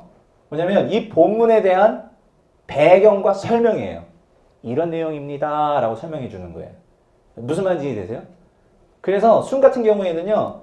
그냥 본문 한번 읽고요. 이걸 바로 그냥 읽으셔도 돼요. 바로 한번 읽고. 아니면 이걸 먼저 읽고 본문을 읽으셔도 되고. 상관없어요. 무슨 말인지 이해되시죠? 예, 그런 구조예요.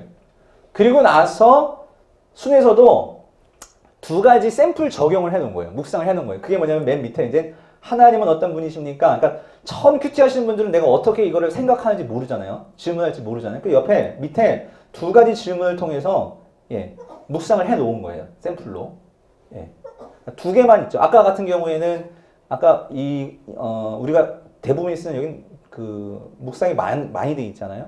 그런데 순 같은 경우에는 딱 두 개만 샘플로 하나님은 어떤 분이십니까? 내게 주는 경우가 딱 두 가지만 되어 있어요. 예. 그래서 처음 큐티 하시는 분들은 순이 편하세요. 시- 제 와이프는 순으로 해요. 순.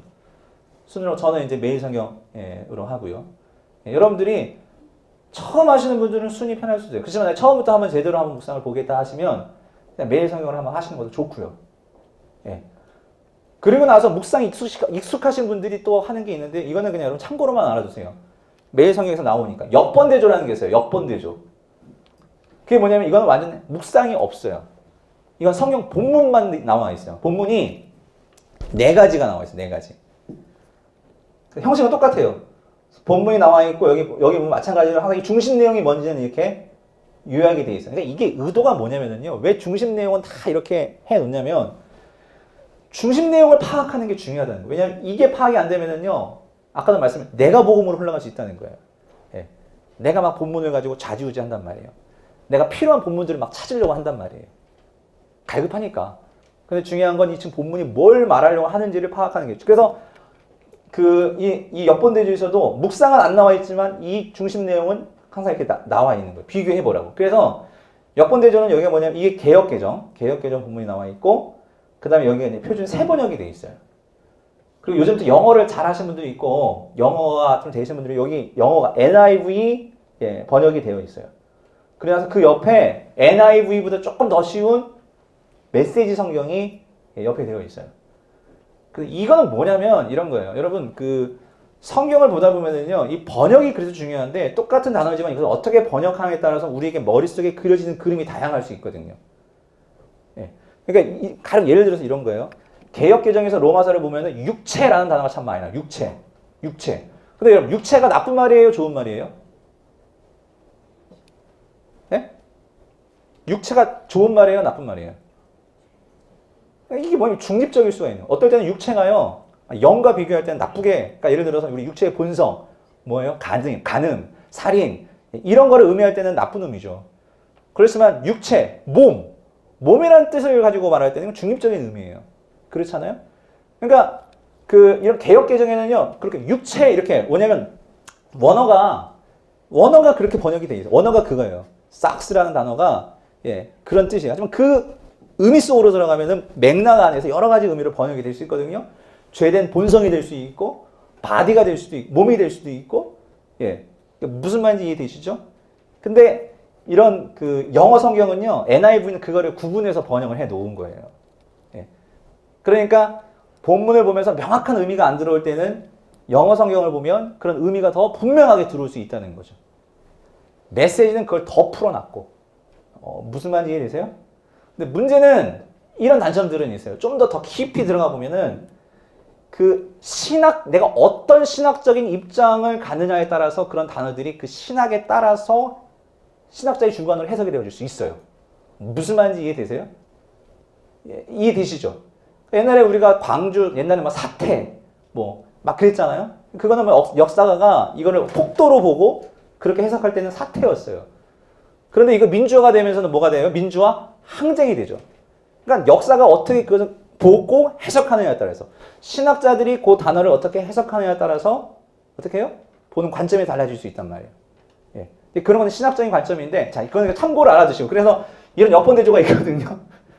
이건 너무 하지 마시고 이런 게 있다는 거 아시고 순 아니면 이 성경 이걸 가지고 제일 중요한 거 뭐예요? 하나님을 알아가는 거. 예. 그래서 하나님과 교제하는 거. 예. 그게 중요하다. 예. 그걸 여러분들이 해 보시면 돼요. 아셨죠? 예. 그래서 자 이제 거의 마무리인데요. 거기 보면 오늘 handout 보내, 어, 나눠드린 거 handout을 보면은요. 거기 있는 거 한번 또 여러분 여기서 안 읽으면 집에 가 안 볼 수도 있으니까 한번 쭉 읽어보는 것을 하고서 제가 좀 일찍 마쳐드릴게요. 그래서 자 거기 3, 어, 2페이지 보면은요. 자 우리가 이런 순서로 말씀 묵상을 하시고 나서 그래서 첫 번째는 매일 아침 꼭 아침이 아니어도 돼요. 여러분들이 편한 시간 정말 하나님을 독대할 수 있는 시간을 여러분 붙드시는 거예요. 그래서 한 30분 정도 시간 내셨으면 좋겠어요. 그 시간을 확보하셔서 큐티를 하시는 거예요. 그리고 성경 묵상에 여러분 진짜 주교제는 뭐예요? 성경이에요, 성경. 큐티집은 여러분 도와주는 보조 자료예요. 이걸 여러분 잘 활용하시면 되는 거고 말씀을 읽는 거 그게 중요한 거예요. 그렇죠? 그리고 성경을 읽을 때에는 한 절씩 읽고 뭐예요? 뜻을 어떻게 해요? 생각하면서 읽는다는 거. 그 생각할 때는 뭐냐면 오늘 나에게 주시는 말씀을 내가 기대하면서 예, 그 말씀을 들으려고 하는 태도로 이제 말씀을 읽으시는 거죠. 그리고 묵상할 때는 항상 두 가지 질문. 하나님은 어떤 분이신지. 그렇죠? 그래서 이걸 생각할 때는 하나님이 이런 하신 일, 사역, 성품들을 우리가 주의 이렇게 보는 거예요. 아, 하나님 이런 성격이시구나. 하나님 이걸 좋아하시는구나. 그래서 하나님을 알아가는 게 중요하니까. 예. 그리고 나서는 내게 주는 교훈은요. 거기서 이런 거죠. 하나님이 말씀하시는 것 중에 내가 주의할 것, 피할 것, 또 명령, 내가 본받아야 할 것, 이런 것들을 주로 보면서 성경을 묵상해 나가시는 거예요. 자, 이렇게 해서 이제 내가 묵상했어요. 붙잡았어요. 그럼 그걸 적용을 해야 되는데, 적용은요, 단순히 교훈을 잡고 끝나는 게 아니고요. 그 깨달은 것을 내 의식이나 가치관에 어떻게 해요? 예, 전환하기 위해서. 이것도 하나의 실천이죠. 생각을 바꾸는 것. 그리고 그것을 어떻게 해요? 그, 나의 삶 속에서 구체적으로 적용해 보는 거예요. 실천해 보는 거예요. 이게 적용이에요. 그래서 적용의 첫 번째는요, 이 생각에서부터 시작하는 거예요. 구체적인 생각. 구체적인 생각을 내가 어떻게 해요? 예, 만들어 보고 그 생각을 가지고 하루의 삶 속에 들어가서 내가 실천해 보는 거예요. 이게 적용이에요. 자, 그래서 한 절 한 절을 하나님과 이렇게 대화식으로 질문하라고 했죠? 하다 보면은 그게 기도가 될 수 있는 거예요. 여러분, 기도가 어려운 게 아니고요. 그러니까 하나님과 대화하는 게 기도예요. 그러니까 여러분, 공적으로 나와서 기도할 때는 어떤 문장을 가지고 우리가 기도문을 만들지만 여러분이 하나님과 기도할 때는 그냥 말씀을 보면서 하나님 왜 그러신 거예요? 아, 하나님 정말 이렇게 너무한 거 아니에요? 하면서 여러분이 대화하는 것 그거 자체가 기도일 수 있다는 거예요. 예. 그렇게 묵상하시고 마무리로 하나님께 어떻게 해요? 감사하시고 오늘 깨달은 말씀, 적용한 말씀대로 살게 도와달라고 여러분들이 마무리 기도를 하시면 이 큐티가 예, 마무리가 되는 거예요. 예. 이해되셨죠? 예. 그리고 나서 중요한 건 이거를요 나눠 보시는 거예요. 옆에 있는 지체들하고 다락방 같은 데 가가지고 나누면은 참 신기한 게 뭐냐면 나는 오늘 5절 갖고 은혜를 받았는데 똑같은 본문에서 어떤 집사님은 10절 갖고 은혜를 받았고 하면서 나누면 본문을 더 풍성하게 어떻게 해요? 예, 볼수 있게 되는 거예요. 예, 나누는 거. 그래서 부부가 있으시면 부부가 같이 하는 게 좋고요. 요즘 너무나 좋은 게요. 제 딸이 이제 유년부에 올라가가지고 참 좋더라고요. 저희 교회가 이제 우리 주일학교도 큐티를 하잖아요. 근데 유아부, 유치부, 저희 아들이 4살, 아니, 지금 5살이네요. 5살인데 얘는 이제 유, 유 아직 유아부죠. 거기서 QT를 하는데 근데 본문은 좀 달라요. 근데 이 아들도 QT, 우리 집에 제일 QT를 좋아하는 애가 이 꼬마예요. 예, 하여튼 QT 안 하면 잠을 못 자게 하니까. 예. 그런데 이제 그 8살 이제 유년부 가니까 뭐가 좀 본문이 똑같아진 거예요. 본문이. 저하고 아내하고 애하고 본문이 똑같아졌어요. 근데 그 유, 그러니까 이 저학년 QT집이 있거든요. 그걸 보니까요. 더 은혜가 돼. 예. 너무 쉬워가지고. 예. 그래서 어떤 분들은요, 이, 이게 어려우신 분들은요, 그런 분들도 있어요. 예. 청소년 매일 성경이라고 청소년 매일 성경을 QT 하시는 분들도 있어요. 좋아요. 쉬워서. 예. 근데 애들 QT는 명확하게 포인트 하나를 딱 짚어주더라고요. 같이 하니까 너무 내가 먼저 QT를 하고 애하고 같이 하니까 대화도 되고요. 내가 또 가르칠 수도 있고요. 너무나 이제 좋더라고요. 그러니까 같이 가족이 부부가 하면 더 좋죠. 어 그러면 대화가 또 되잖아요. 예. 예, 그런 QT를 할 수 있으면 좋을 것 같아요. 그러면서 나중에 더 좋은 거 제가 꿈꾸는 거는 우리 정재영 목사님도 계시지만 나중에 우리 가정 예배를요 온 가족이 이렇게 같이 QT를 해보는 거예요. QT를 한 걸 나눠보는 거예요. 그래서 우리 어린아이는 뭘 느꼈는지 또 중학교 아이는 본문이 똑같으니까 이게 큰 장점이에요. 본문이 똑같으니까 걔 생각은 뭘 느꼈는지 그걸 물어보고 예, 같이 나눠보고 일주일에 한 번씩 하면 얼마나 좋겠어요. 예, 그런 모임을 가져보는 거예요. 그래서 마지막으로 그래서 이런 큐티가 주는 유익을 한번 보면은요. 첫 번째는요 이거예요. 삶의 안내와 지시를 받게 된다는 거예요. 말씀이 중에 말씀을 같이 한번 읽어볼게요. 같이 읽어보겠습니다. 10편 25편 같이 읽어볼게요. 시작. 여호와를 경외하는 자 누구냐? 그가 택할 길을 그에게 어떻게 해요? 가르치시리로다. 그의 영혼은 평온히 살고 그의 자손은 땅을 상속하리로다. 예. 택할 길을 그에게 가르쳐 주신다는 거예요. 예. 인도할 수, 하나님이 인도해 주신다는 거죠. 예. 큐티 많지만 제가 세 가지를 정리해 본 거예요. 두 번째는요. 자, 10편 25편 같이 한번 읽어볼게요. 시작. 내 눈이 항상 여호와를 바라보면 내 발을 그물에서 어떻게 해요? 벗어나게 하실 것임이로다. 여러분 집에 가세요. 꼭 시편 25편을 꼭 처음부터 끝까지 한번 읽어보세요. 제가 QT를 강, QT 강의를 하면서 이 시편 25편을 항상 강의를 하는데요. 예. 거기 보면 너무나 기가, 기가 막힌 이 다윗이 QT를 말씀 묵상을 하면서 경험했던 간증이 거기에 나와요.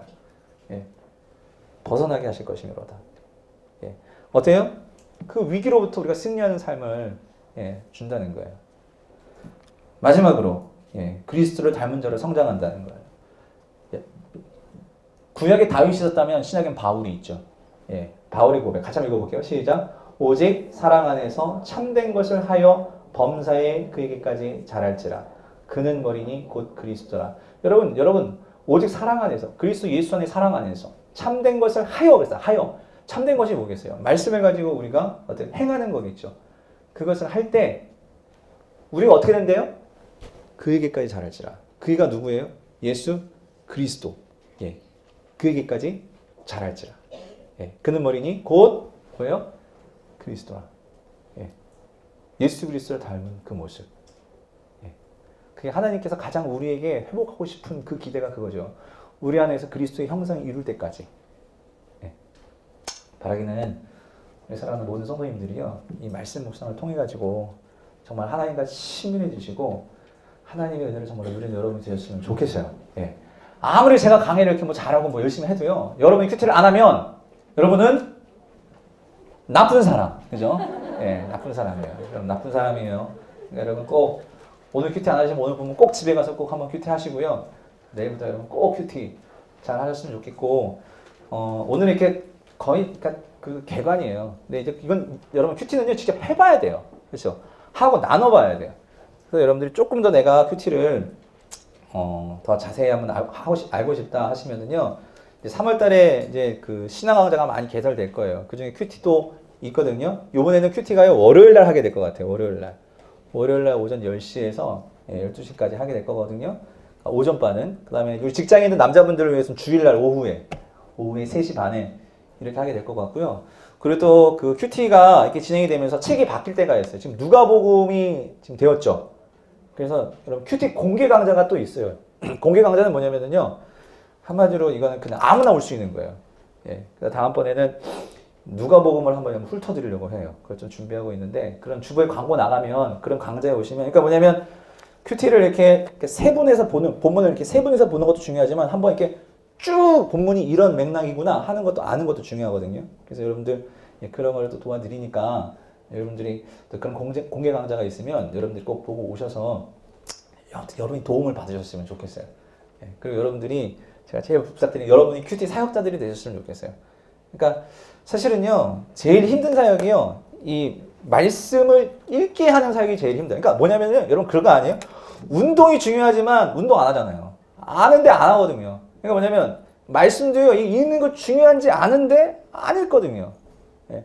그리고 제가 하- 매번 하는 농담이 있지만 그, 그 이 성경책에 이 지퍼 달린 걸 다 뜯어버린다니까요. 예. 지금 이거, 이거 잠고 나서 안 펴요. 이거 안 해요. 그러니까 저는 그냥 항상 열고, 열고 다니잖아요. 어디서든지 성경이 이게 펴지게. 예. 예. 누가 이 지퍼를 사는지 모르, 모르겠어요. 예. 예, 어디 가서 옛날에 성경에 그 지퍼 없던 성경책들. 예. 아, 죄송합니다. 예. 그 아무튼 여러분들 그 큐티 꼭잘 하시면 좀 도움이 좀 되셨어요? 네. 그래서 여러분들 꼭 하나님의 말씀과 친밀해지는 은혜가 있게 되기를 바랍니다. 제가 기도하고 마치겠습니다. 아버지 하나님 은혜를 감사합니다. 오늘 정말 좀긴 시간이었지만 우리 사랑하는 성도님들 정말 한 자리에서 움직이지 아니하시고 이렇게 정말 주의 말씀을 사모하는 마음으로 집중해서 강의를 듣게 해주시고 감사합니다. 비옵기는 많은 것을 전했지만 그러나 이 가운데 정말 한 가지는 꼭 생각날 수 있게 해주셔서 내가 하나님을 알고 싶고 내가 정말 살기 위해서 큐티한다 하는 이 메시지가 우리 사랑하는 우리 모든 성도님들의 마음속에 심겨지고 이를 통하여서 하나님을 알아가는 역사, 하나님과 함께하는 역사들이 우리 사랑하는 모든 성도님들에게 생겨날 수 있도록 주여 함께하여 주시옵소서. 주님께서 축복하여 주시고 함께해 주실 것을 믿사옵고 거룩하신 예수님의 이름으로 간절히 기도드립니다. 아멘. 여러분 감사합니다. 네, 고맙습니다. 네.